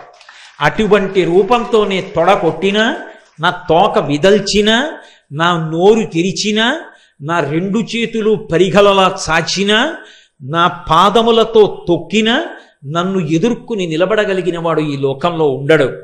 ఎందుకయ్యా ఇన్ని ఇడుములు పడతారు? ఒక్క క్షణంలో హస్తినాపురానికి వెళ్ళి మీ శత్రువులైన ధార్తరాష్ట్రుల్ని పీనుగు పెంటలు చేస్తాను. మీకు పట్టాభిషేకం చేస్తానన్నారు మేము పౌరుష పరాక్రమాలు ఉన్నవాళ్ళమే. మీ అండదండలుండగా మాకేమి లోటు స్వామి హనుమ. మీరు మాకు అన్నగారు కాబట్టి మీ ఆశీర్వచనం చాలు. మేము మా పరాక్రమంతో శత్రువుల్ని సంహరించి రాజ్యాన్ని చేపడతాం. మా మీ ఆశీర్వచనం మాకు ఉంచండి అన్నారు. చాలా సంతోషించారు. మీ పౌరుష పరాక్రమాలు ఏమిటో చూడాలని నాకు కోరికగా ఉంది. మీరు శత్రువుల్ని సంహరిస్తున్నటువంటి వేళలో. కాబట్టి కురుక్షేత్ర సంగ్రామం ప్రారంభం అవుతున్నప్పుడు ఒక్కసారి నన్ను స్మరించండి. నేను మీలో ప్రధాన వీరుడైనటువంటి అర్జునుడి యొక్క రథ పతాకం మీదకొచ్చి కూర్చుంటాను. కూర్చుని మీరు చేసేటటువంటి యుద్ధాన్నంతటినీ పరిశీలిస్తానన్నారు. హనుమ మంగళప్రదుడు. హనుమ ఎక్కడ ఉంటారో అక్కడ మంగళం జరుగుతుంది. హనుమ ఎక్కడ ఉంటారో అక్కడ శుభం జరుగుతుంది. హనుమ ఎక్కడ ఉంటారో అక్కడ ఈశ్వరుడి యొక్క కృప ఉంటుంది. మహానుభావుడు వచ్చి అర్జునుడి యొక్క రథ పతాకం మీద కూర్చున్నారు కాబట్టే పాండవులు గెలవడానికి అవకాశం ఏర్పడడానికి ఉన్నటువంటి కారణాల్లో ఒక బలమైన కారణమైంది. అంతటి మహానుభావుడు. భీమసేనుడు అడిగాడా అయ్యా మీరు వచ్చి మా తమ్ముడు అర్జునుడి యొక్క రథపతాకం మీద వేయించేసి ఉండండి అని అడగలేదు. అడిగాడా మీరు మా శత్రువుల్ని పరిమార్చండి అని అడగలేదు. అడగకుండా నేను వచ్చి అర్జునుడి యొక్క రథపతాకం మీద కూర్చుంటాను అన్నారు. ఎక్కడ ధర్మం ఉంటుందో ఎక్కడ ధర్మానురక్తి ఉంటుందో ఎక్కడ ఈశ్వర భక్తి ఉంటుందో అక్కడక్కడ పిలవవలసినటువంటి అవసరం లేకుండా స్వామి హనుమ బయలుదేరి వస్తూ ఉంటారు. అసలు హనుమ లేకపోతే ఉపద్రవము గడవదు. నేను అందుకే మీతో మొట్టమొదట్లోనే మనవి చేయడానికి కారణం అదే. ప్రతిరోజు ఒక్కసారి సంధ్యాకాలంలో ఆకాశాన్ని దర్శనం చేసి నమస్కరించినటువంటి వాడికి ఉపద్రవములు తొలగి ఎలా మంగళాన్ని పొందుతాడో అలాగే ప్రతిరోజు ఒక్కసారి స్వామి హనుమవంక చూసి నమస్కారం చేసినటువంటి వాడు ఉపద్రవముల నుండి గట్టెక్కుతాడు. అది ఎంత మహోపద్రవం అవనివ్వండి. గట్టెక్కడానికి స్వామి హనుమ కారణమవుతారు. ఆయన గట్టెక్కిస్తారు. ఆయన యొక్క శక్తి అటువంటిది. మీకు నేను రామాయణంలోంచే ఈ మాట అన్నందుకు ఒక సందర్భాన్ని నిరూపణం చేస్తాను. రామాయణంలో రామరావణ యుద్ధం అయిపోయింది. రావణాసురుడు మరణించాడు. సీతారాములకు పట్టాభిషేకం అయిపోయింది. రామచంద్రమూర్తి సంతోషంగా పరిపాలన చేస్తున్నారు. అగస్త్యాది మహర్షులు ఒకసారి అయోధ్యానగరానికి విజయం చేసి రామదర్శనాన్ని అపేక్షించారు. రాముడు వారిని లోపలికి ప్రవేశపెట్టి అర్ఘ్యపాద్యాదులిచ్చి పూజించి ఉచితాసనముల మీద కూర్చోపెట్టి ఒక ప్రశ్న వేశాడు. రావణాసురుడు అంతటి అరివీర భయంకరుడు ఎలా కాగలిగాడు అని అడిగాడు. అడిగితే అగస్త్య మహర్షి ఒక మాట చెప్పారు. రామ నిజానికి రావణాసురుడు కాదు అంత శక్తివంతుడు. రావణాసురుడి కన్నా శక్తివంతుడు రావణాసురుడి కన్నా కొన్ని కోట్ల రెట్ల ప్రమాదకారి పరమ భయంకరుడు ఇంద్రజిత్. ఆ ఇంద్రజిత్తు మరణించడం రామాయణంలో పెద్ద మలుపు. వాడు దైవవశం చేత అదృష్టవశం చేత మీ పరాక్రమం చేత మడిసిపోయాడు రామ అన్నాడు. ఏమిటా ఇంద్రజిత్ విశేషం? నాకు చెప్పవలసింది అని అడిగారు. రామచంద్రమూర్తి అప్పుడు చెప్పారు అగస్త్య మహర్షి. చాలా చిన్న వయస్సులో కృష్ణాజనం కట్టుకుని యజ్ఞోపవీతం వేసుకుని శిఖతో ఉండగా అంత చిన్న వయస్సులో ఏడు యజ్ఞాలు చేశాడు. అవి ఒక ఒకటి కాదు అశ్వమేధము వాజపేయము పౌండరీకము ఇటువంటివి ఏడు పూర్తి చేశాడు. ఏడవది మహేశ్వర ప్రీతి కొరకు చేశాడు. ఏడు యజ్ఞములు అనితర సాధ్యమైన రీతిలో పూర్తి చేసి అంత బంగారం దానం చేశాడు. చేస్తే పరమేశ్వరుడు ప్రత్యక్షమయ్యాడు. నీకేం కావాలని అడిగాడు. నాకు తామసీ విద్య కావాలని తామసీ అంటే ఆ వ్యక్తి యుద్ధానికి బయలుదేరితే చీకట్లు సృష్టిస్తాడు. కటిక చీకటి అయిపోతుంది. ఆ కటిక చీకట్లో ఆ వ్యక్తి ఎక్కడున్నాడో ఎవరికీ తెలియదు. ఆయన యొక్క నిలబడిన ప్రదేశం ఎవరికీ గుర్తించడానికి యోగ్యంగా ఉండదు. ఎవరికీ తెలియడు ఆ చీకట్లో ఉంటాడు రథం కూడా దివ్యరథం ఉంటుంది. అది ఈశ్వర ప్రసాదంగా వచ్చిన దివ్యరథం. దాని గుర్రాలు అంతే అక్షయబాణ తుణీరాలు అంతే అందులో ఉండి చీకట్లోంచి మేఘముల చాట్ నుంచి బాణాలు విడిచిపెడతాడు. ఎంతమందినైనా పడగొడతాడు. అసలు బాణం ఎక్కువ పెట్టడానికి ఎక్కడున్నాడో తెలియదు ఎవరికి. అటువంటి గుర్రాన్ని అటువంటి గుర్రాల్ని అటువంటి రథాన్ని అటువంటి అక్షయబాణ తూణీరాల్ని తామసీ విద్యని పొందాడు. పొంది రావణాసురుని యొక్క ఆశీర్వచనాన్ని పొందాడు. ఒకప్పుడు రావణాసురుడు స్వర్గలోకం మీదకి దండయాత్ర చేసి దేవేంద్రుడితో యుద్ధం చేశాడు. దేవేంద్రుణ్ణి ఇంకా గెలవలేదు కానీ బడలిపోయాడు. ఆ బడలిపోయి ఉన్నప్పుడు బయలుదేరి వచ్చాడు ఇంద్రజిత్తు తనకున్నటువంటి తామసీ విద్యని ఆవిష్కరించాడు. వెంటనే ఇంద్రుణ్ణి బంధీకృతుణ్ణి చేశాడు. రథంలో పెట్టుకుని రావణుడి దగ్గరికి వచ్చారు. నాన్నగారు యుద్ధం అయిపోయింది. ఇంద్రుణ్ణి బంధించేశాను. పదండి అంతఃపురానికన్నా.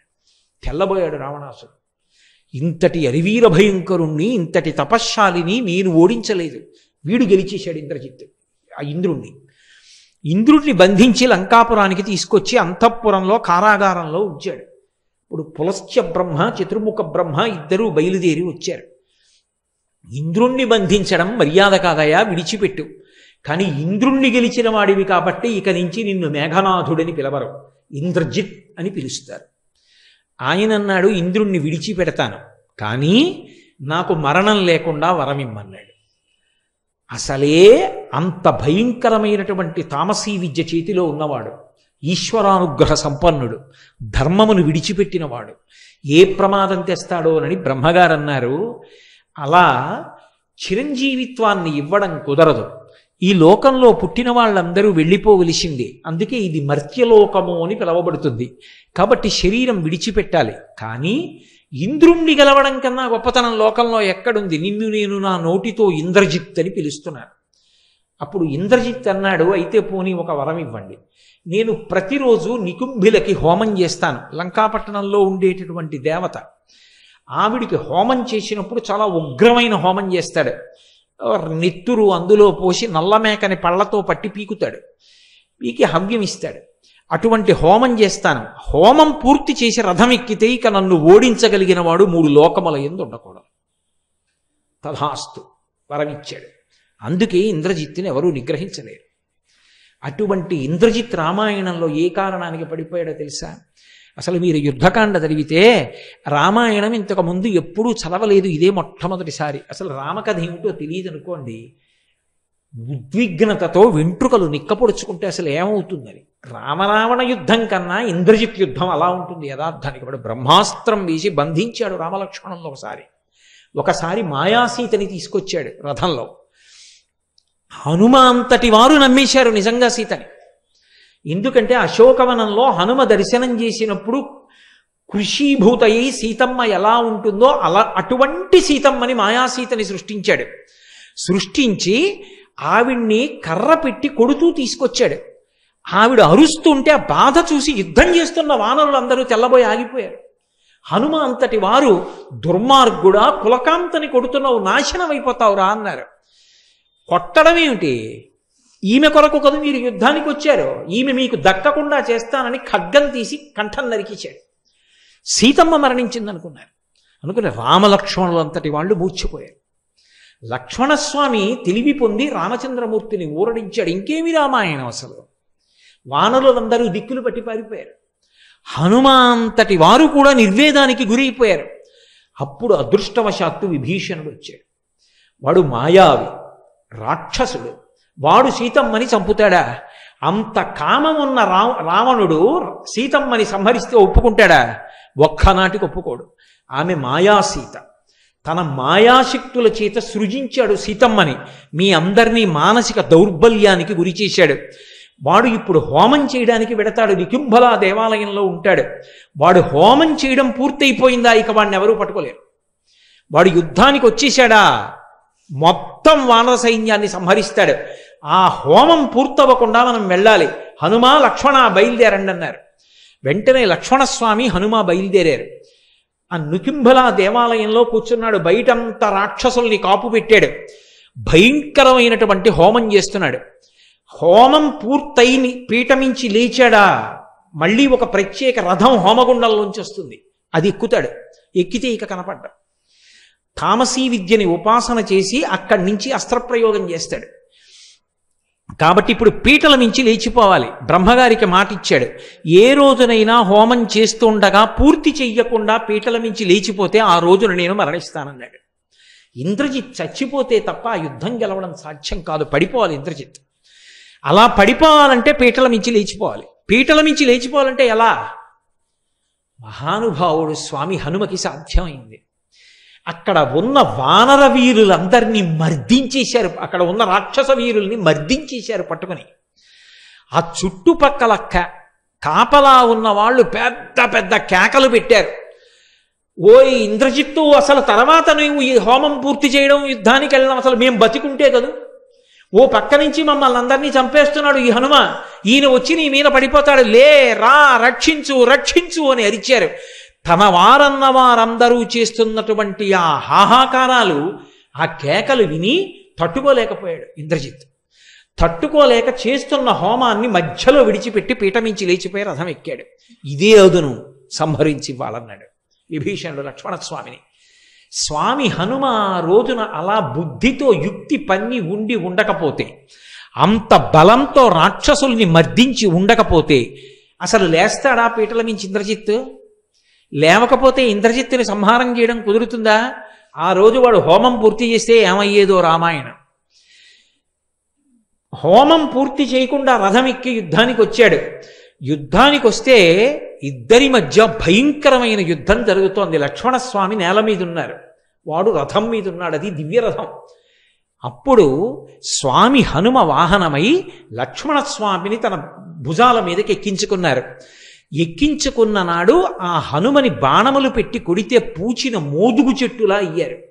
అయినా సరే రామకార్యం కోసం రాముడి కోసం ధర్మం కోసం తనని నమ్ముకున్న వానరుల కోసం తన ప్రభు అయిన సుగ్రీవుడి కోసం లక్ష్మణస్వామిని వహించారు. భయంకరమైనటువంటి యుద్ధం ఇద్దరికీ మధ్య జరిగింది. అంత భయంకరమైనటువంటి యుద్ధం జరిగితే ఆ యుద్ధంలో చిట్ట చివరికి రౌద్రాస్త్రాన్ని ప్రయోగించాడు. రథాన్ని పడగొట్టాడు సారథిని పడగొట్టాడు. చిట్ట చివరికి ఇంద్రజిత్తు ఇవన్నీ పోయినా సరే చేతిలో ఖడ్గాన్ని పట్టుకొని వేరొక ఆ ధనస్సు తీసుకుని లక్ష్మణస్వామి మీదకి యుద్ధానికి వచ్చాడు. ఐంద్రాస్త్రాన్ని ప్రయోగించి రామాయణానికి మూలమంత్రం అంటారు. ధర్మాత్మ సత్యసంధశ్చ రామో దాశరథిర్యది పౌరుషీచా ప్రతిద్వంద్వశరైనం జహిరావణిం. ఈ మాటలు చెప్పి రావణుని యొక్క కుమారుడైన ఈ ఇంద్రజిత్ మరణించుగాక అని బాణప్రయోగం చేస్తే అప్పుడు ఇంద్రజిత్ యొక్క శిరస్సు ఛేదింపబడింది. స్వామి హనుమ లేకపోతే అసలు ఆ ఇంద్రజిత్తు సంహారం చెయ్యడం అనేటటువంటిది అంత తేలికగా జరిగి ఉండేదా అనే ఆలోచన చేస్తే అసలు అది అంత తేలికగా జరిగేటటువంటి కార్యం కానే కాదు. మహానుభావుడైనటువంటి హనుమ ఆర్తత్రాణపరాయణుడై ఎక్కడ ఎవరు ఎలుగెత్తి హనుమాని పిలవనివ్వండి పరమ సంతోషంతో పరుగు పరుగున వచ్చి కాపాడతారు. ఆయన్ని పిలవక్కర్లేదు ఆయన పేరు పెట్టి రామనామం చెప్తే చాలు పరమ ప్రసన్నుడైపోతారు. అందున ఆశ్చర్యం ఏమిటంటే సంవత్సరం మొత్తం మీద తప్పకుండా రామనామం కంఠ ఉన్నందుకు గళమెత్తి చెప్పవలసిన రోజు ఏదైనా ఉంటే ఇవ్వాలి. మార్గశిర మాసంలో వచ్చినటువంటి శనివారం. ఈ శనివారం నాడు ఎవరు రామనామ సంకీర్తనం చేస్తారో వాళ్ళందరికీ కూడా హనుమ యొక్క కృప విశేషంగా కలుగుతుంది. అంతటి మహానుభావుడు. ఒకరినేమి? ఆయన ఒకనొకనాడు తరిగొండ వెంగమాంబ గారిని రక్షించలా? తల్లి ఎక్కడో తరిగొండలో పుట్టారు. తిరుకొండ చేరుకున్నారు. తిరుకొండ తిరుమల. తరిగొండ వెంకటాచల క్షేత్రానికి దగ్గరలోనే ఉంటుంది నరసింహస్వామి. బిడ్డలు లేకపోతే కానాల కృష్ణయ్య మంగమ్మ అనేటటువంటి దంపతులు వెంకటాచలంలో వెంకటేశ్వర స్వామి వారిని ఉపాసన చేస్తే ఆయన అనుగ్రహంగా పుట్టింది. అందుకని వెంకమ్మ అని పేరు పెట్టుకున్నారు. చిన్నప్పటి నుంచి ఎప్పుడూ పూజనలు పూజలు భజనలు సంకీర్తనలు చేసేదావిడే. ఈ పిల్ల ఆడపిల్ల ఇక్కడ ఇలా భక్తిలో మునిగిపోతే రేపు పొద్దున్న అత్తవారింట్లో ఎలా పేరు తెచ్చుకుంటుంది? పెళ్ళి చేయండి మార్పు వస్తుందన్నారు. వెంటనే వెంకటాచలపతి అనబడేటటువంటి ఒక వ్యక్తిని చూసి వివాహం చేశారు. ఇంకా కాపరానికి వెళ్ళనే లేదు. ఆ భర్త గారు శరీరం విడిచిపెట్టాడు. నేను విధమని కాను నేను ఎప్పుడో వెంకటేశ్వరుడు ఇల్లాలని నాకు పెళ్ళి చెయ్యొద్దని చెప్పేది ఆవిడ.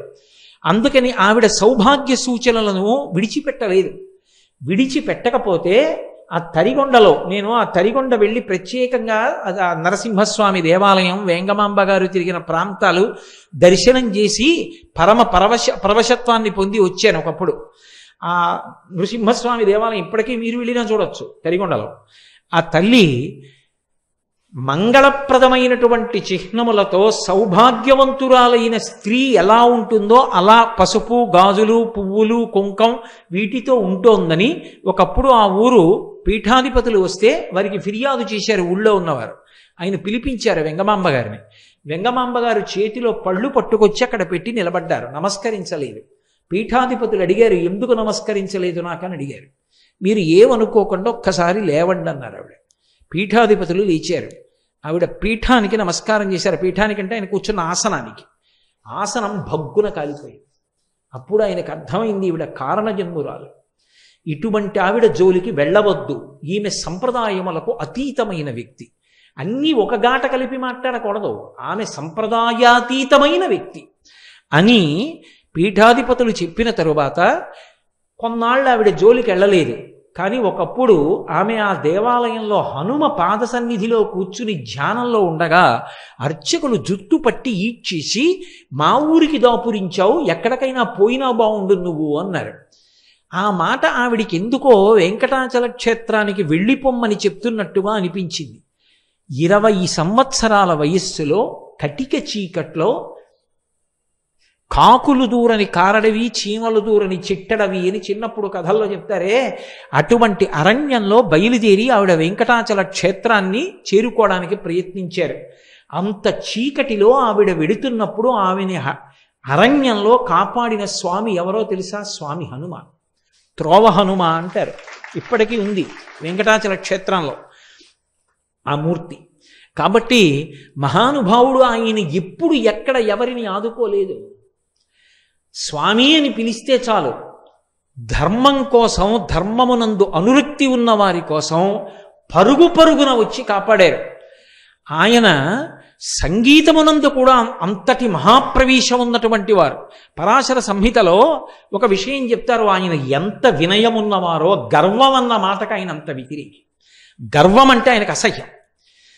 ఒకనకొకప్పుడు గరుత్మంతుడు అహంకారాన్ని పొందాడు. నా అంత గొప్పవాడు ఎక్కడున్నాడు శ్రీ మహావిష్ణువుకి వాహనాన్ని.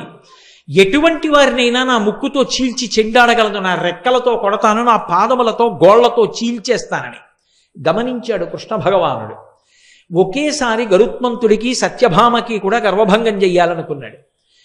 గరుత్మంతుణ్ణి పిలిచి ఓ వైనతేయా నువ్వు వెంటనే వెళ్ళి అదిగో గంధమాదన పర్వతం మీద పర్వత గుహలో పడుకుని ఉన్నారు హనుమ నేను పిలుస్తున్నానని చెప్పి వెంటనే తీసుకురా అన్నారు. హనుమని తీసుకురావడం పెద్ద విషయం ఏమిటి? ఉత్తర క్షణంలో బయలుదేరి వెళ్ళారు గరుత్మంతుడు మంచి అతిశయంతో. అక్కడ గుహలో యోగనిష్టలో ఉన్నారు. ఆ కుంభకం చేసి యోగనిష్టలో ఉండగా వెళ్ళి హనుమా హనుమా అని పిలిచారు. పలకలేదు. పలకలేదని కోపం వచ్చి ఆయన నాసారంధ్రములోకి తన ముక్కు పుటాన్ని చేర్చి పొడిచారు. ఆయనకి కించిత్ ధ్యానభంగం అయింది ఆయన చెవి దగ్గరికి వచ్చి అరిచారు. హనుమ చెవి దగ్గరికి వచ్చి ఆయన మెల్లిగా బహిర్ముఖులై యోగాభ్యాసంలో ధ్యానంలో సమాధి స్థితిలో ఉన్నవాడు ఒక్కసారి బహిర్ముఖుడు కాకూడదు. మెల్లమెల్లగా బహిర్ముఖుడు కావాలి. అందుకని మళ్ళీ ప్రాణాయామంతోనే బహిర్ముఖులు అవుతారు అందుకని ఈ వైనతేయుడైన గరుత్మంతుడికి గర్వం అనచాలని ఆయన ఒక ముక్కు రంధ్రాన్ని పూసి ప్రాణాయామం కోసమని ఒక ముక్కు రంధ్రం మూసి ఒక ముక్కు రంధ్రంతో గట్టిగా ఊపిరి లాగారు. ఆ ఎదురుగుండా ఉన్నటువంటి గరుత్మంతుడు ఎగిరి వచ్చి ఆయన ముక్కు రంధ్రాన్ని కట్టుకున్నాడు. ఈ రంధ్రం ఇలా వదిలిపెట్టేస్తే గరుత్మంతుడు కింద పడ్డాడు. ఇలా మూసి మళ్ళీ ఈ రంధ్రంతో గట్టిగా గాలి విడిచిపెట్టారు పీల్చిన గాలిని. ఆ గాలికి ఎగిరి ఎక్కడో వెళ్ళి పడ్డాడు. మళ్ళీ ఇలా పీల్చారు మళ్ళీ వచ్చి ముక్కు కట్టుకున్నాడు. అయ్యబాబో ఇదే బలం ఇదేం బలం? ఊపిరి పీలిస్తేనే ఇలా ఉందనుకున్నాడు. అడిలిపోయి ఆయన ఊపిరిని యథాస్థితికి తెచ్చిన తరువాత పైకి ఎగిరిపోయి చూస్తున్నాడు. ఇలా కాదు ఈయన్ని ఎత్తుకుపోతాను నా రూపాన్ని పెంచడి పెద్ద పెద్ద రెక్కలు పెంచాడు. హనుమ తన తోక పెంచి ఆకాశాన్ని చుట్టారు వాలాన్ని. గరుత్మంతుడు ఆగ్రహించి తన ముక్కుతో దానికి ఛిద్రం చేయబోయాడు పొడవబోయాడు. వెంటనే తన రె- తోకతోటి గరుత్మంతుణ్ణి చుట్టారు. చుట్టి బంధించి గిర్ర గిర్ర గిర్ర గిర్ర తిప్పి ఆకాశంలో విసిరేశారు. విసిరేస్తే పాలసముద్రం పక్కన ఉన్న కొండ మీద వెళ్ళి పడ్డాడు పడి అక్కడి నుంచి శరీరం అంతా భిన్నమైపోయి పాలసముద్రంలో మునిగాడు. మళ్ళీ పూర్వ తేజస్సు వచ్చింది. చేతులు కట్టుకుని అత్యంత వినయంగా శ్రీకృష్ణ భగవానుడి దగ్గరికి వెళ్ళాడు. ఏమి హనుమా? ఏమి గరుత్మంతా తీసుకురమ్మన్నాను? హనుమని ఎందుకు తీసుకురాలేదన్నారు? ఏమీ తెలియనట్టు కృష్ణ పరమాత్మ. ఆయన ఏదో ధ్యానంలో ఉన్నాడు మహానుభావ తీసుకురావడం కష్టమైంది పలకట్లేదు. నా ఆజ్ఞాని చెప్పు సీతారాములు పిలుస్తున్నారని చెప్పు వెంటనే వస్తాడు. వెళ్ళు భయం లేదన్నారు. ఈసారి వెడితే రావడం ఉంటుందా? అనుమానం వచ్చింది గరుత్మంతుడికి. సరే ఆయన ఆజ్ఞ వినయంగా వెళ్ళు గర్వంతో వెళ్ళకు. నేను రమ్మన్నాను కదా నేను పిలుస్తున్నాను కదా అని చెప్పి ఊరికే హనుమా హనుమాని కేకలేకు పరమ వినయంతో చేతులు కట్టుకుని తల వంచుకొని స్వామి మిమ్మల్ని సీతారాములు పిలుస్తున్నారని చెప్పు వస్తారన్నారు. తిన్నగా హనుమ ఉన్న గుహ దగ్గరికి వెళ్ళారు. వెళ్ళి గరుత్మంతుడు చేతులు కట్టుకుని ఈసారి ఎంతో వినయంతో స్వామి హనుమా హనుమా అని పిలిచారు. ఏమి? అన్నారు. పళ్ళు తీసుకెళ్ళి అక్కడ పెట్టి నమస్కారం పెట్టారు. అంజలి ఘటించి సీతారాములు పిలుస్తున్నారన్నారు. ఒక్కసారి పైకి లేచారు. సీతారాముల పద ఎక్కడున్నారన్నారు. ముందు వైనతేయుడు ఎడుతున్నాడు వెనకాతల హనుమ వచ్చారు ఇంతలో కృష్ణ భగవానుడు అన్నాడు పక్కన సత్యభామ కూర్చునుంది. సత్యభామ సత్యభామ హనుమ వస్తున్నారు. పక్కన సీతమ్మని తప్ప ఒప్పుకోరు నేను రాముడిగా మారిపోతున్నాను. నువ్వు సీతమ్మగా మారిపో అన్నారు. నేనెక్కడ మారిపోతాను సీతమ్మగా? అలా సీతమ్మే కావాలంటే కావాలంటే కావాలనమనండి. నేను కృష్ణుడిగా ఉన్నాను సత్యభావం చెప్పండి. అయినా అలా ఎవరు మారతారు? రుక్మిణీదేవి మారుతుంది అన్నాడు కృష్ణ భగవానుడు. ఆవిడికి మరీ ఆగ్రహం వచ్చింది. అబ్బా రుక్మిణీదేవి సీతమ్మ అయిపోగలదే? అయితే రుక్మిణీదేవిని పిలిచి కూర్చోబెట్టుకోండి మారుతుందేమో చూద్దాం. రుక్మిణీదేవి మారలేదని ఆవిడ ఆశ. ఆయన వెంటనే వచ్చేస్తున్నారు స్వామి హనుమ రా రా రుక్మిణి రా అని పక్కన కూర్చోబెట్టుకున్నారు. అనగా ఆదిలక్ష్మి అయిన రుక్మిణి తోడ క్రీడ సల్పుచున్న కృష్ణ చూచి కదూ ఆవిడ ఆదిలక్ష్మి ఆవిడే ఆదిలక్ష్మి ఆవిడే ఒకప్పుడు సీతమ్మగా వచ్చింది. శ్రీరమ సీతగాక నిజ సేవక బృందము వీర వైష్ణవాచార జనంబుగాక విరజానది గౌతమిగాక వికుంఠమున్నారయ భద్రశైల శిఖరగ్రముగాక వసించు చేతనోద్ధారకుడైన విష్ణుడవు. దశరథి కరుణాపయోనిధి అంటారు గోపరాజు గారు. రుక్మిణీదేవి సీతమ్మగా మారిపోయింది. కృష్ణ భగవానుడు రాముడైపోయాడు హనుమ గబగబా లోపలికి వచ్చారు రామ రామ రామ పరమ సంతోషం ఆయన చుట్టూ ప్రదక్షిణం చేసేశారు. ప్రదక్షిణాలు చేసి ఆయన కాళ్ళ మీద పడిపోయి నమస్కారం చేశారు.